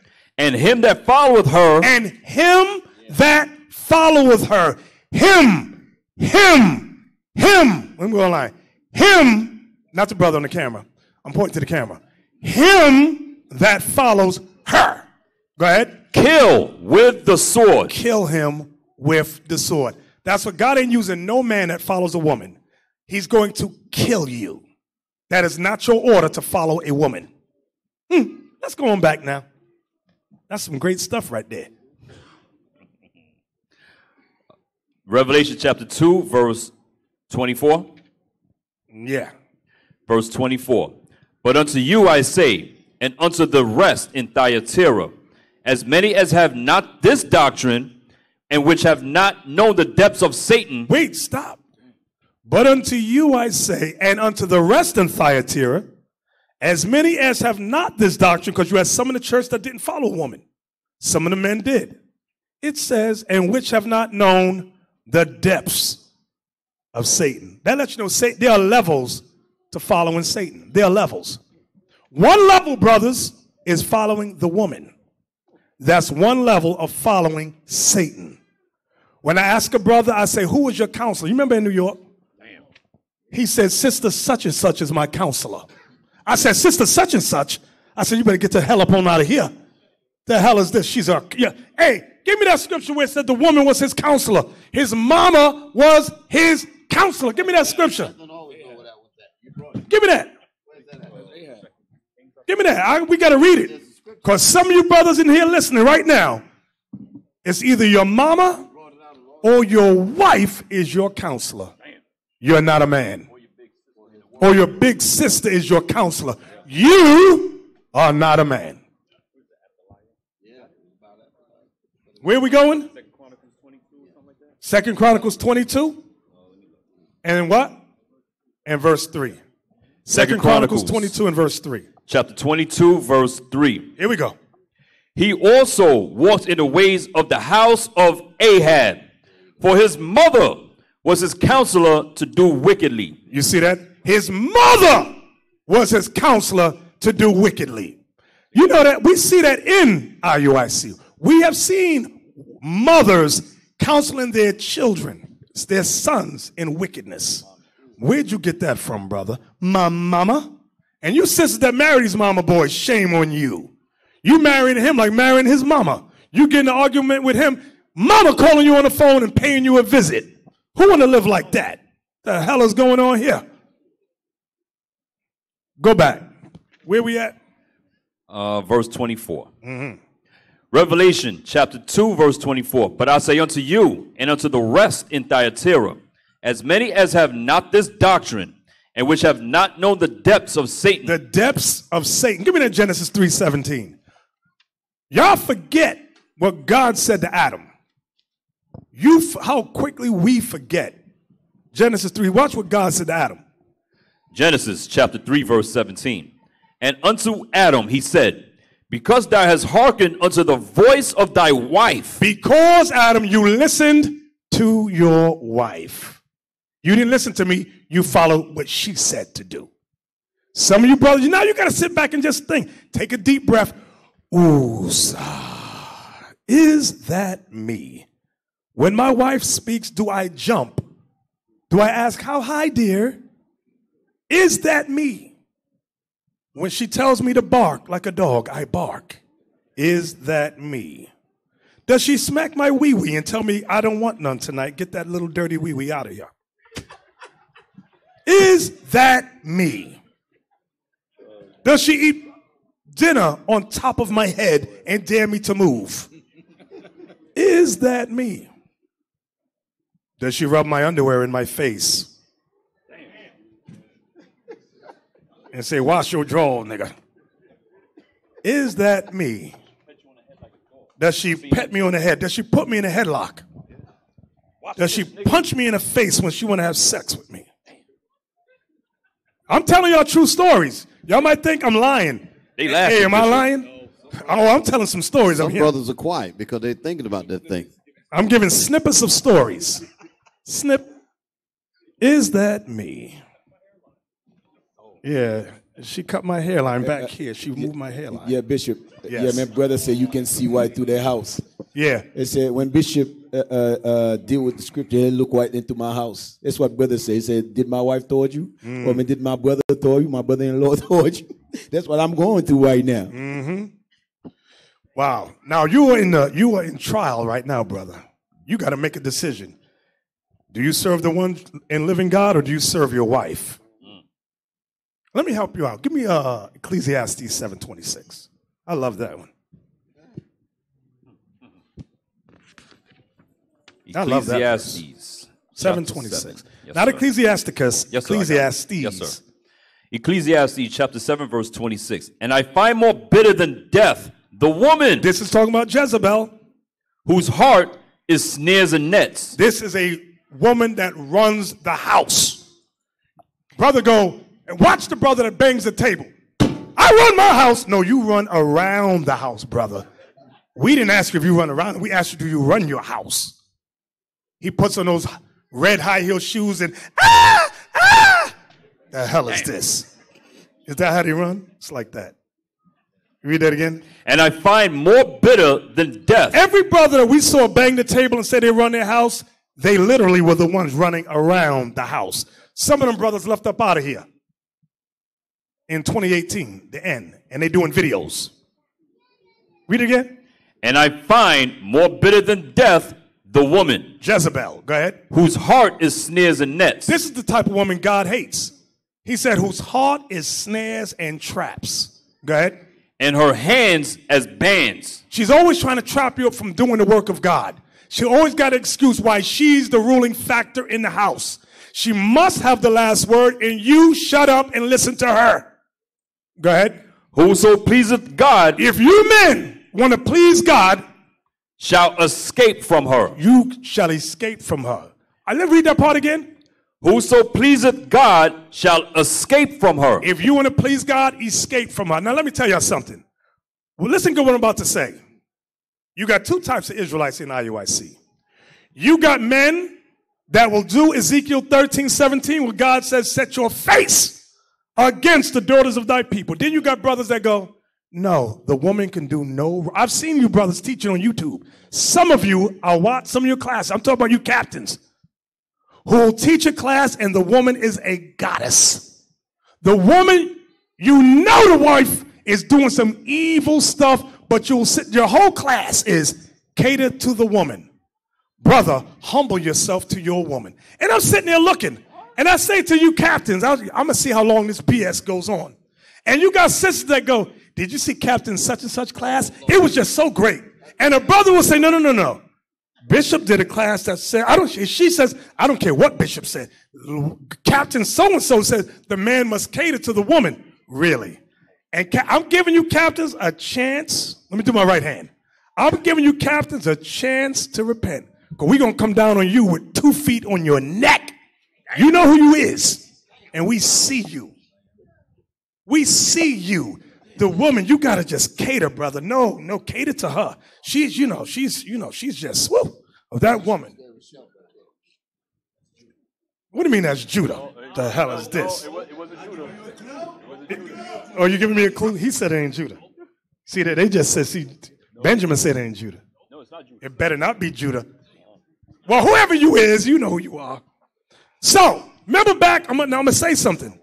You know about it, you know about it, you know about it. Oh, Laba know too. No, I'm talking about back in the old, when we first set up IUIC. I would teach a class. The woman would say something out of order. I mean, some crazy stuff. My wife know what I'm talking about. This particular woman, I ain't gonna mention her name, she would say some crazy stuff, and she had some followers in the church. I would do a class to cut it, and the husband would pull out and contradict every scripture we go over to cater to this woman. So what the hell is going on here? Sometimes they be Some be right there while we're sitting right there. Bishop teaching, he pull up another scripture. We got the same thing going on now, Thyatira. You brothers of Thyatira, today is your day. You better fix that teaching. Mm. Brothers say, see, I know uh, now Atlanta man, why that black bucktooth nigga always coming out here? The Lord sent me here because there's some stuff going on here. I'm telling you women something right now. There's something going on down south. Yeah, something going on down south. From oh, further south, further south. Come on down. We don't like those classes getting on us. We talk about the church of Thyatira. If this ain't you, sister, just let it be like water off a duck's back. Yes, sir. I got to add something. You've been teaching now for about what? Two hours right now? Yes. I'm about to close out. Damn. Y'all notice something? Bishop is teaching about the seven churches, right? Y'all notice not one scripture Bishop pulled that said to leave those churches? You guys notice that? Eh? You notice everything, every time Christ speak, Christ said, fix it. Christ said, repent. You guys notice that? That's not one precept did Bishop pull that said, leave the church. Every single he pulled, he said to repent. That is why Christ said, all manner of sin are forgiving. So when something happened in the, in the church, there is no scripture that's justify you walk away. Christ said, fix it, fix it. The problem with the Negro, you don't like fixing nothing. Mm-hmm. You too emotional. That's why that's why you see brothers run out of here, sisters run out of here. They don't want to fix the problem. The seven churches prove. Christ said, Hey, there's the, there's the spirit of Jezebel in here. I want you guys to fix it. Christ didn't say, Hey, there's spirit of Jezebel in this church. Leave. He didn't say that. He said, Repent. If you don't repent to fix it, I'm going to come. I'm going to do this. I'm going to do that. I'm going to destroy it. But he always gives you a chance to fix the problem. That's it. Guess what? Same thing with IUIC. IUIC is a church. There's going to be problem.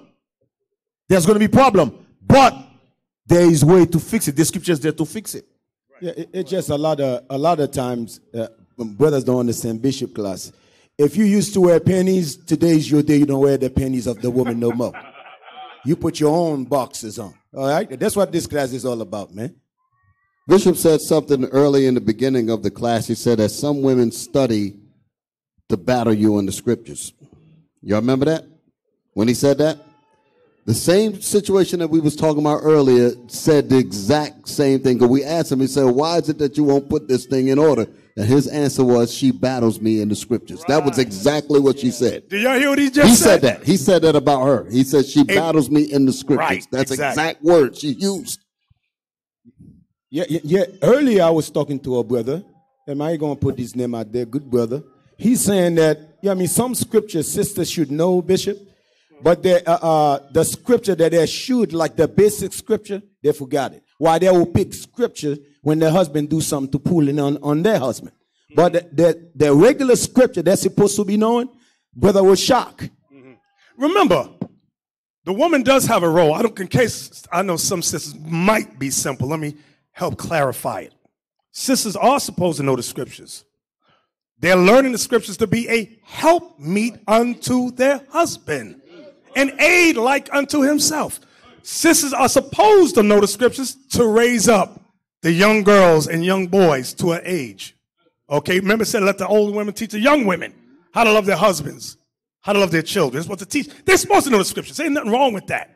Where Thyatira is stepping outside of that order, now she's on this side of the room being a feminist. That's the problem with the church of Thyatira. Now she's at home telling the husband, shut the F up, you ban, B-A-N, you ban.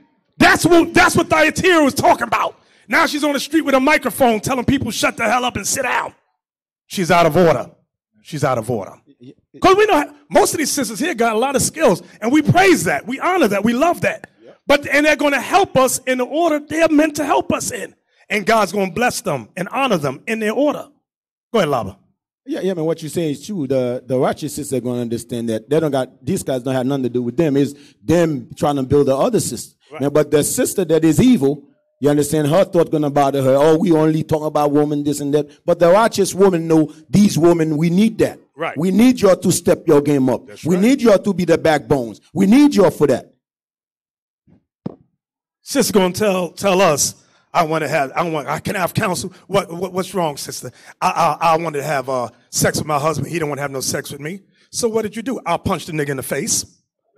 I said, you did what? I punched the nigga in the face. Really? Yeah, five times. You can't make this stuff up, right, New York? You can't make this up. Feel bad.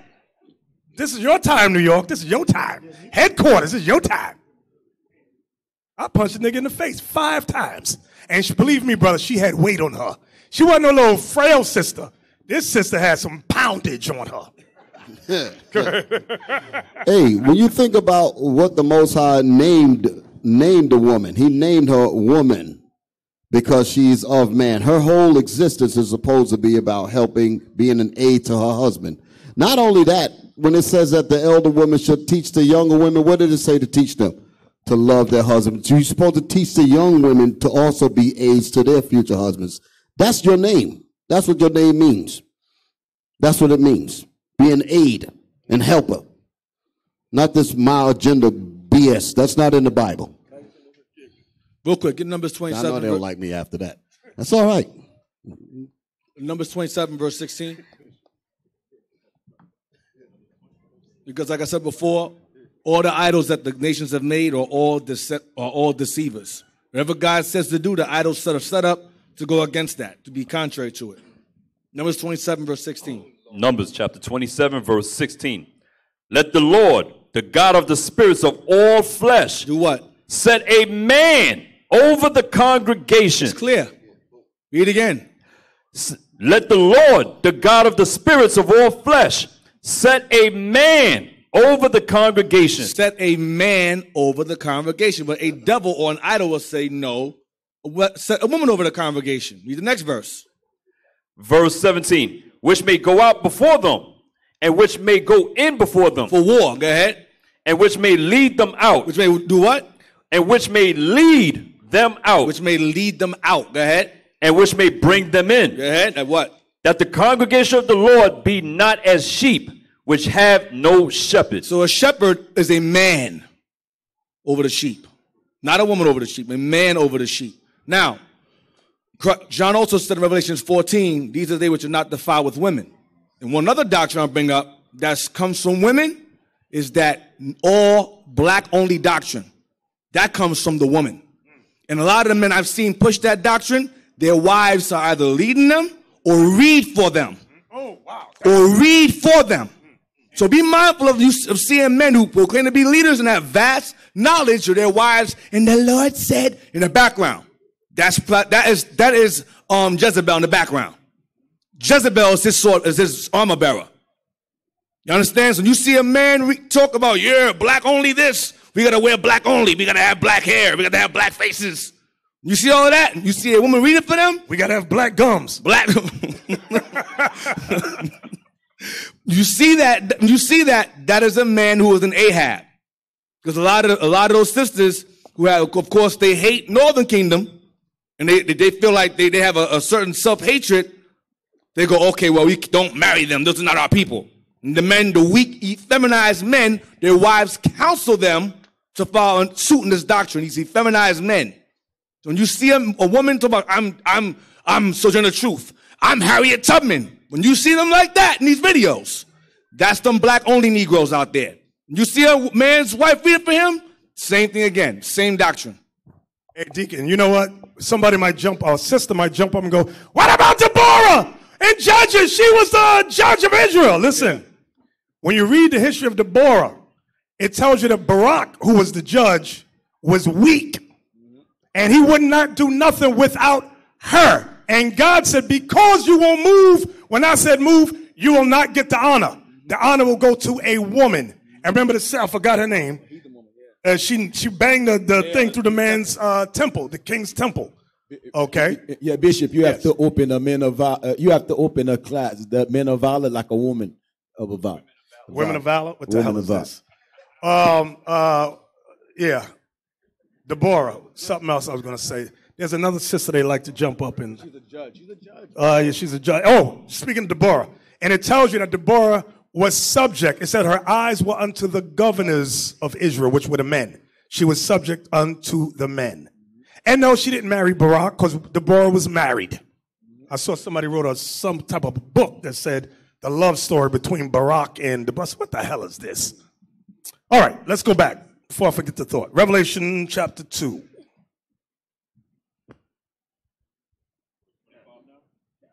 Yes. Oh, another thing. I'm sorry.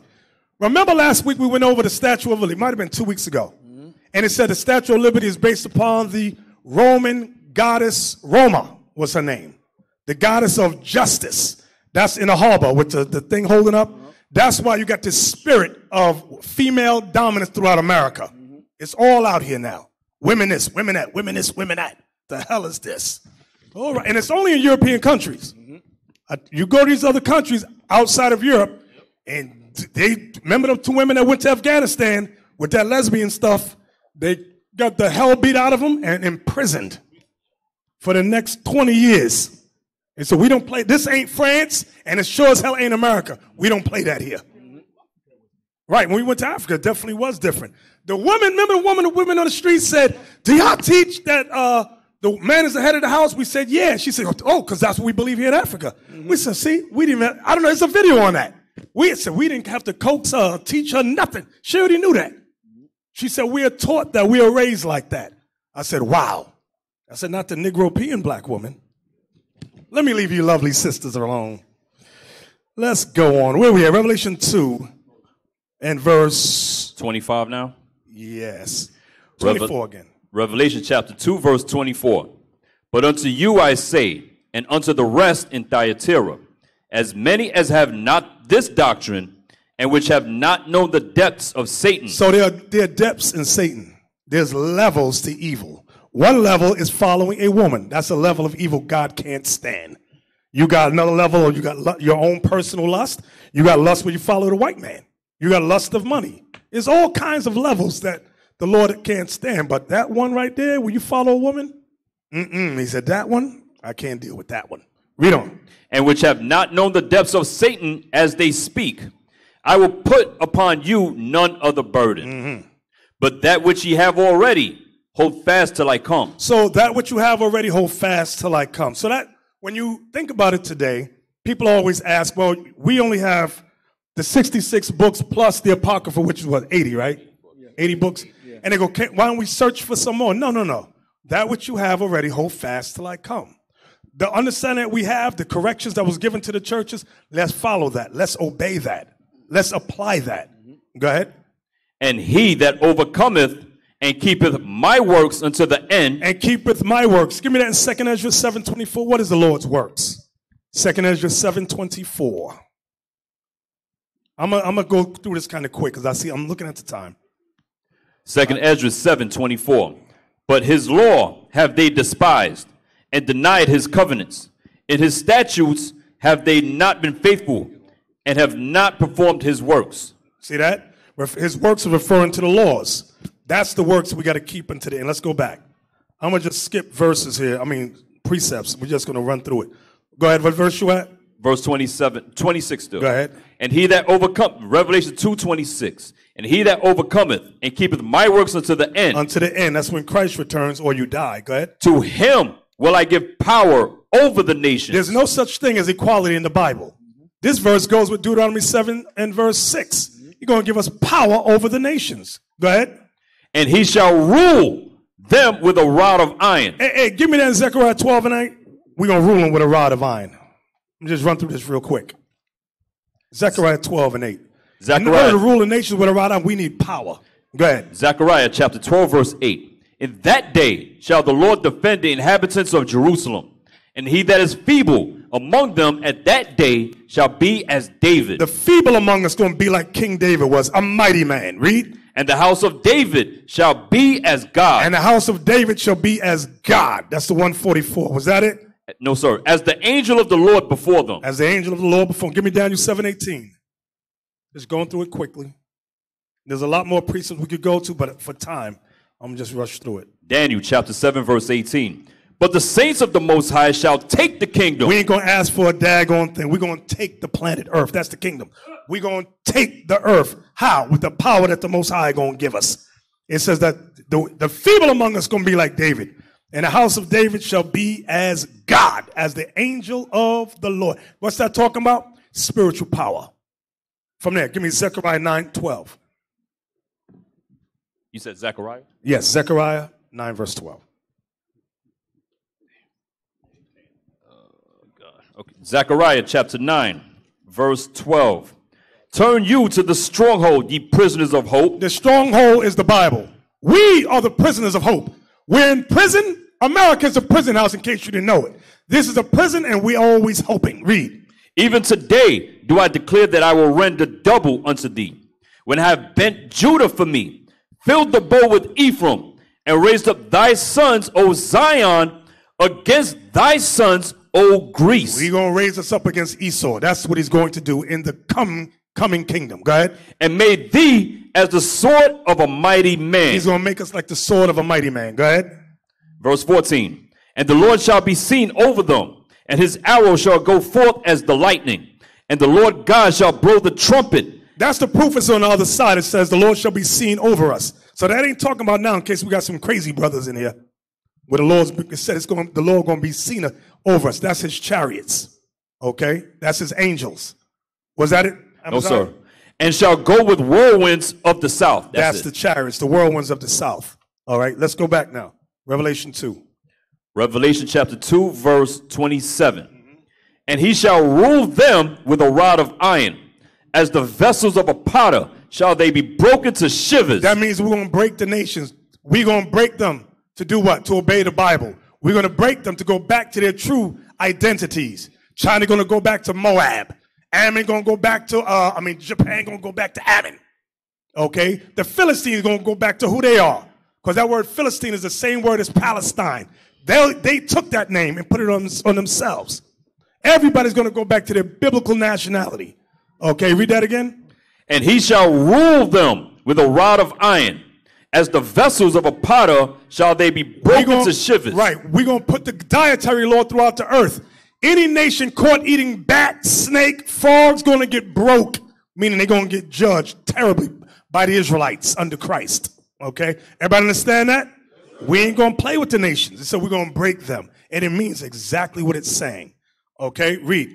Even as I received of my father. Y'all see that part right there? Even as I received of my Father. That's in Psalms 2. Get that. Psalms 2, 6 through 9.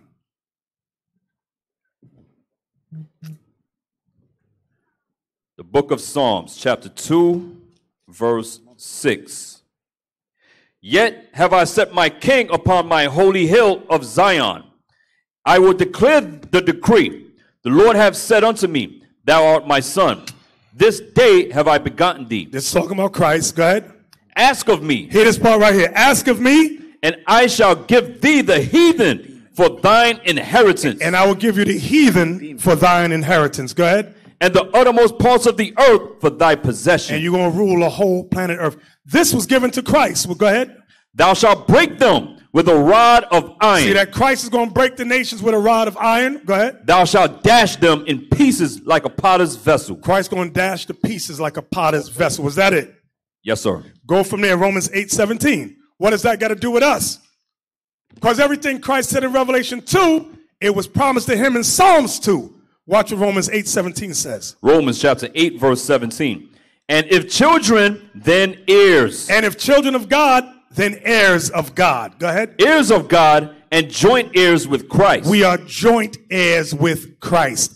Everything that Christ has been given shall be given to the Israelites that make that first resurrection. Everybody understand that? Go back to Revelation 2. We almost out of here. Revelation chapter 2, verse 27. Mhm. And he shall rule them with a rod of iron. As the vessels of a potter shall they be broken to shivers, even as I received of my father. See, that's the proof. Even as I received of my Father, that was Psalms 2.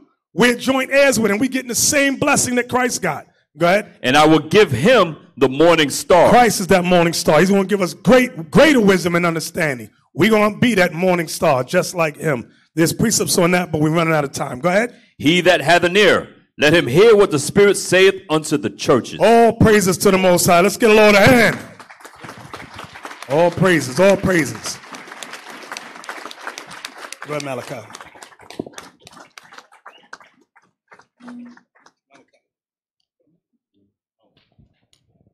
All praise to Most High for another great, great class. Ooh, Bishop covered a lot in a little short time.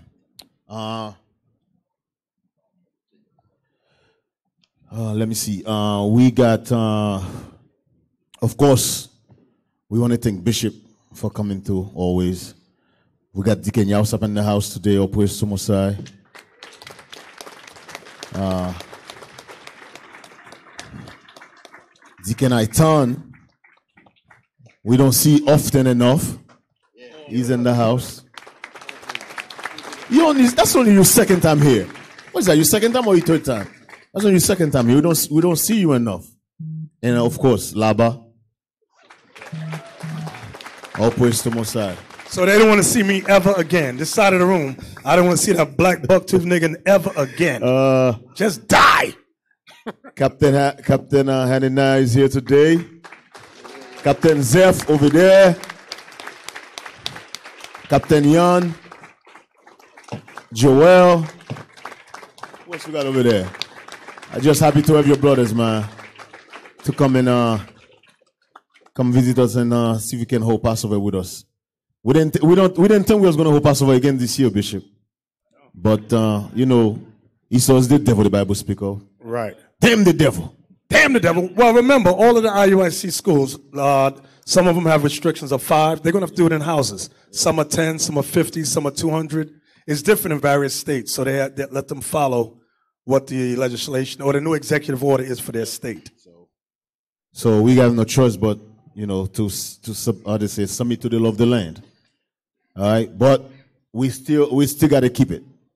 We still got to keep it. Uh, Cap, what do we what else we have, Cap Shema? Uh, yeah, in, yeah, there was a few confusion in uh, uh, Captain Group meet. Man, what's going on? Hey, hey, hey, hey, hey, hey, Miami, get it together. Don't act like their class was not about Oh, you. Miami, woman, Miami woman Uh, that New loose. York, New York, get it together. Yeah, you get a few punch, brother, get a few punch in the face. Get it together. Uh, Cap, go ahead. Uh, any announcement? Where is the where's Officer Nichomaya? No, Officer Nichomaya, do you have anything?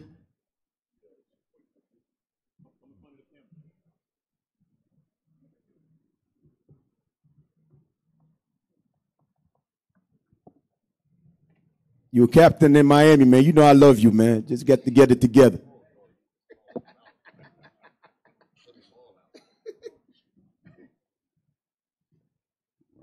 One Judah, one Gad. No, then Levi. Uh, woman that loose. Yeah, go ahead, Nichomaya. Okay, family, family. Okay, as far as the Passover in Atlanta slash Riverdale, if you paid for that in full, then you're good to go. Come on out here. If you have not, if you paid for the Passover in North Carolina, you should have received a Google document to make your decision as far as whether you want to move on with the event that's been rescheduled or whether you want to get a voucher for 2021 for the Passover or whether you want to actually get a refund. As long as you have not selected refund, you're good for your local Passover and you can come to Atlanta. Keep in mind, pay attention closely to the Telegram groups because leadership is going to be putting information out there if anything changes because everything can change with a stroke of a pen. Everybody understand that?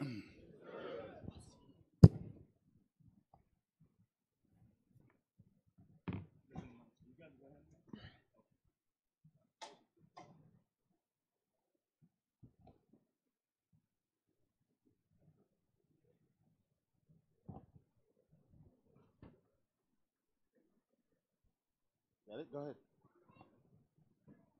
All right. Class will begin after Passover. This is for the um, the inaugural 300 TCM group on Telegram, March 31st, Tuesday at 6:30 p.m. Central Time. Okay, this is with um, IUIC Dallas, the the 300. All right, so make sure there's a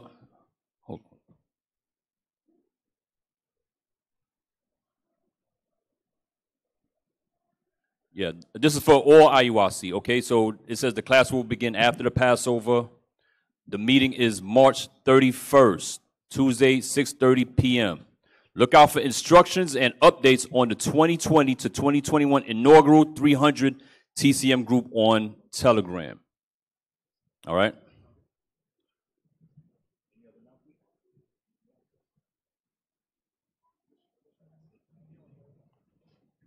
Officer Lish, you ready? I can't say it again. All right, go ahead.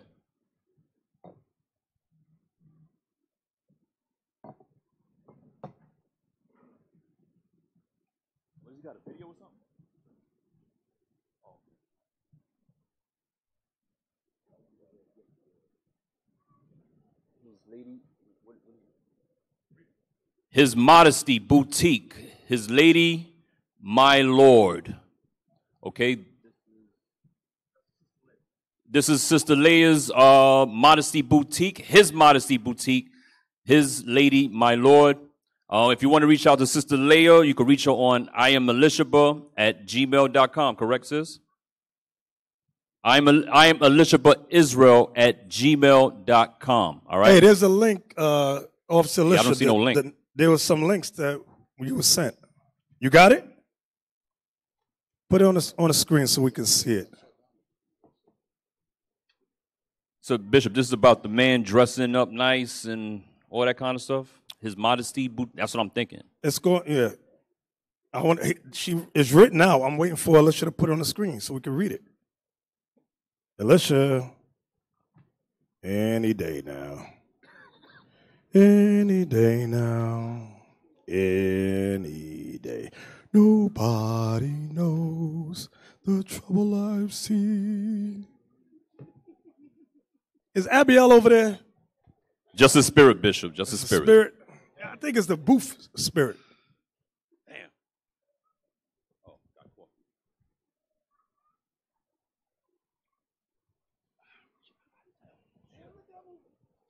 Damn the devil. Should get a little another hand for that class, man.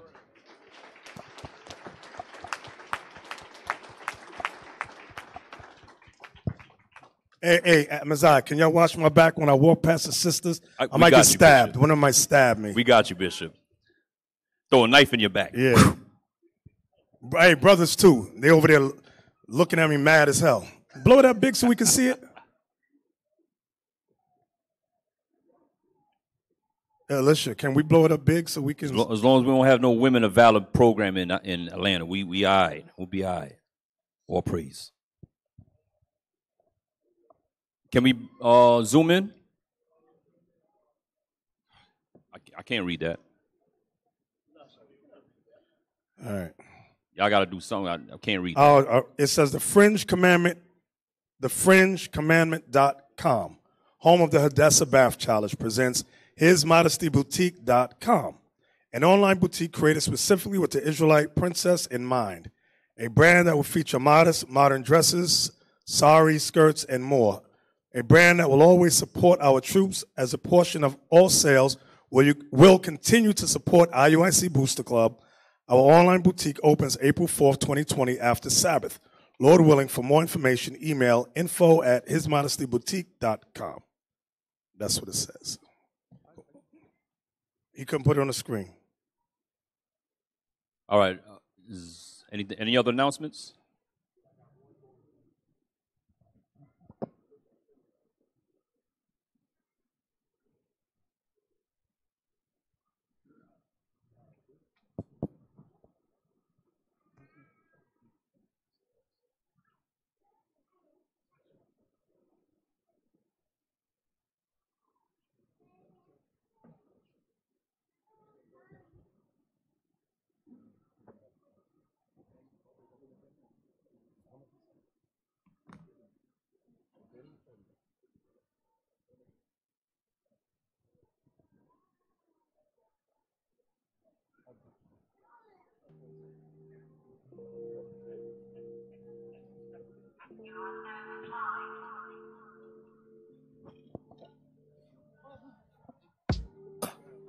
One day, I hope to expand my life with a rib by my side. From that day, we can keep the lost together. Put it Make a up. covenant with my eyes. I'll delight myself in the Lord and I'll fast, and He'll give my desires if I'll ask for the things my heart desires. I'll meet a sister and I'll treat her right. Make sure the lamp inside is burning bright. Gonna get it right this time. Oh, I,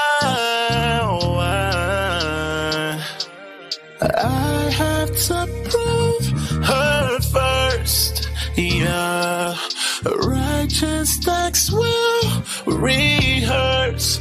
Oh yeah, make it through the curses. Yeah, I gotta prove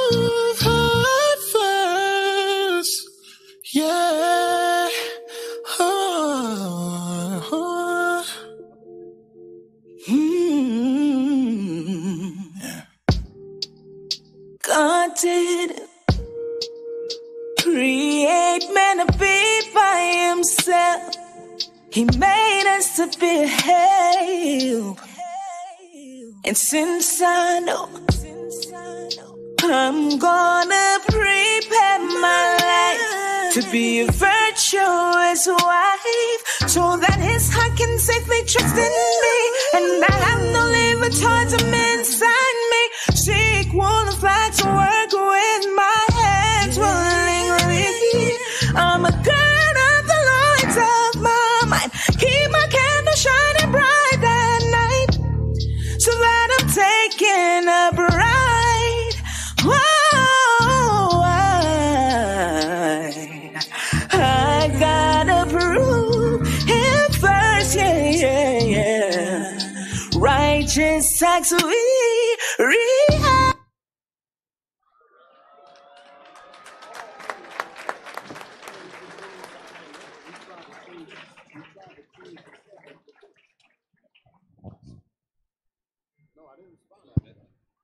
All right, so that'll be on original royalty. You can pick that up on original royalty. Correct? All right. Uh, any other announcements? Anything else? All right. With that, tomorrow we have moon night. Y'all not gonna clap for that?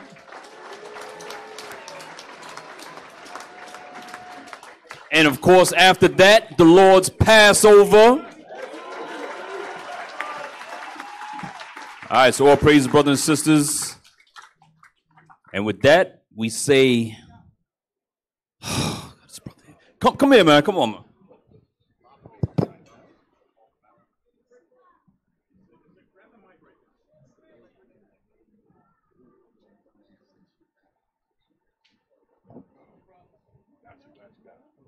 All right, real quick, real quick. If you and for anyone who has not received the Google Doc, because I'm, we're getting some information that they're not receiving it to make their decision regarding the Passover, send an email to info at royaleventplanning.net. Info at royaleventplanning.net. Do not put in any PayPal disputes, Israel. Thank you. All right, brothers and sisters, with that, Oh, Yeah, we didn't break break bread. bread. Yo, A Cap, a lot stay of in the spirit. man. Cap, stand in the spirit.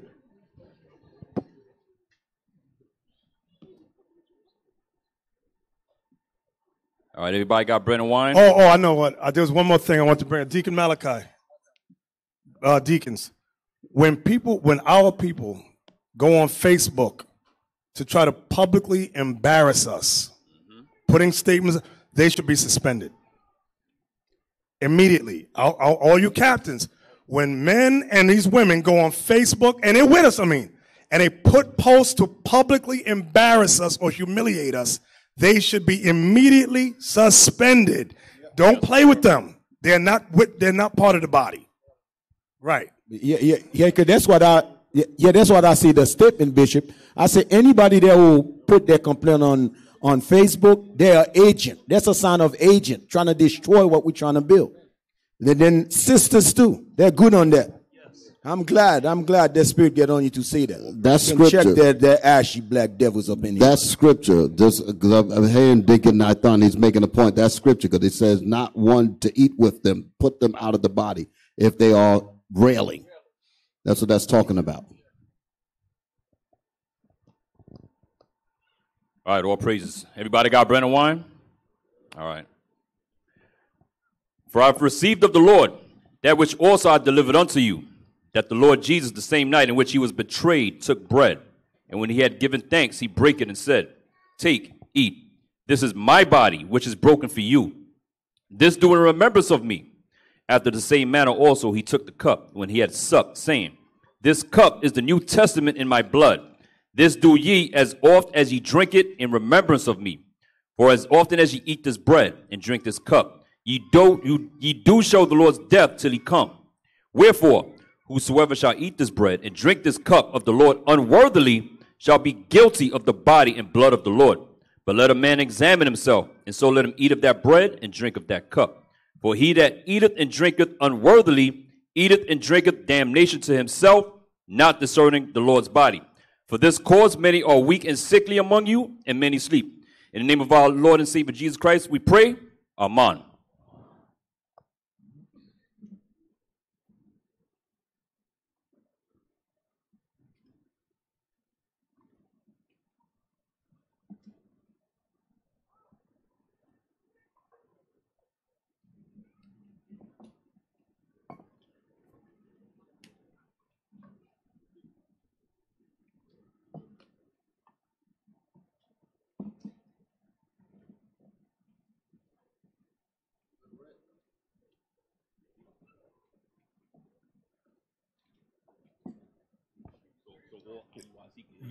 Yeah, man. Deacon Yawasab said, yeah, whoever sister that make that bread, she was in the spirit.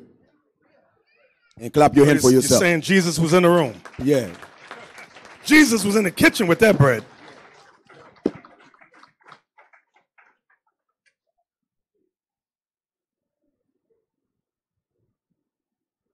All right, brethren. Faith, patience, salvation. Faith, patience, salvation.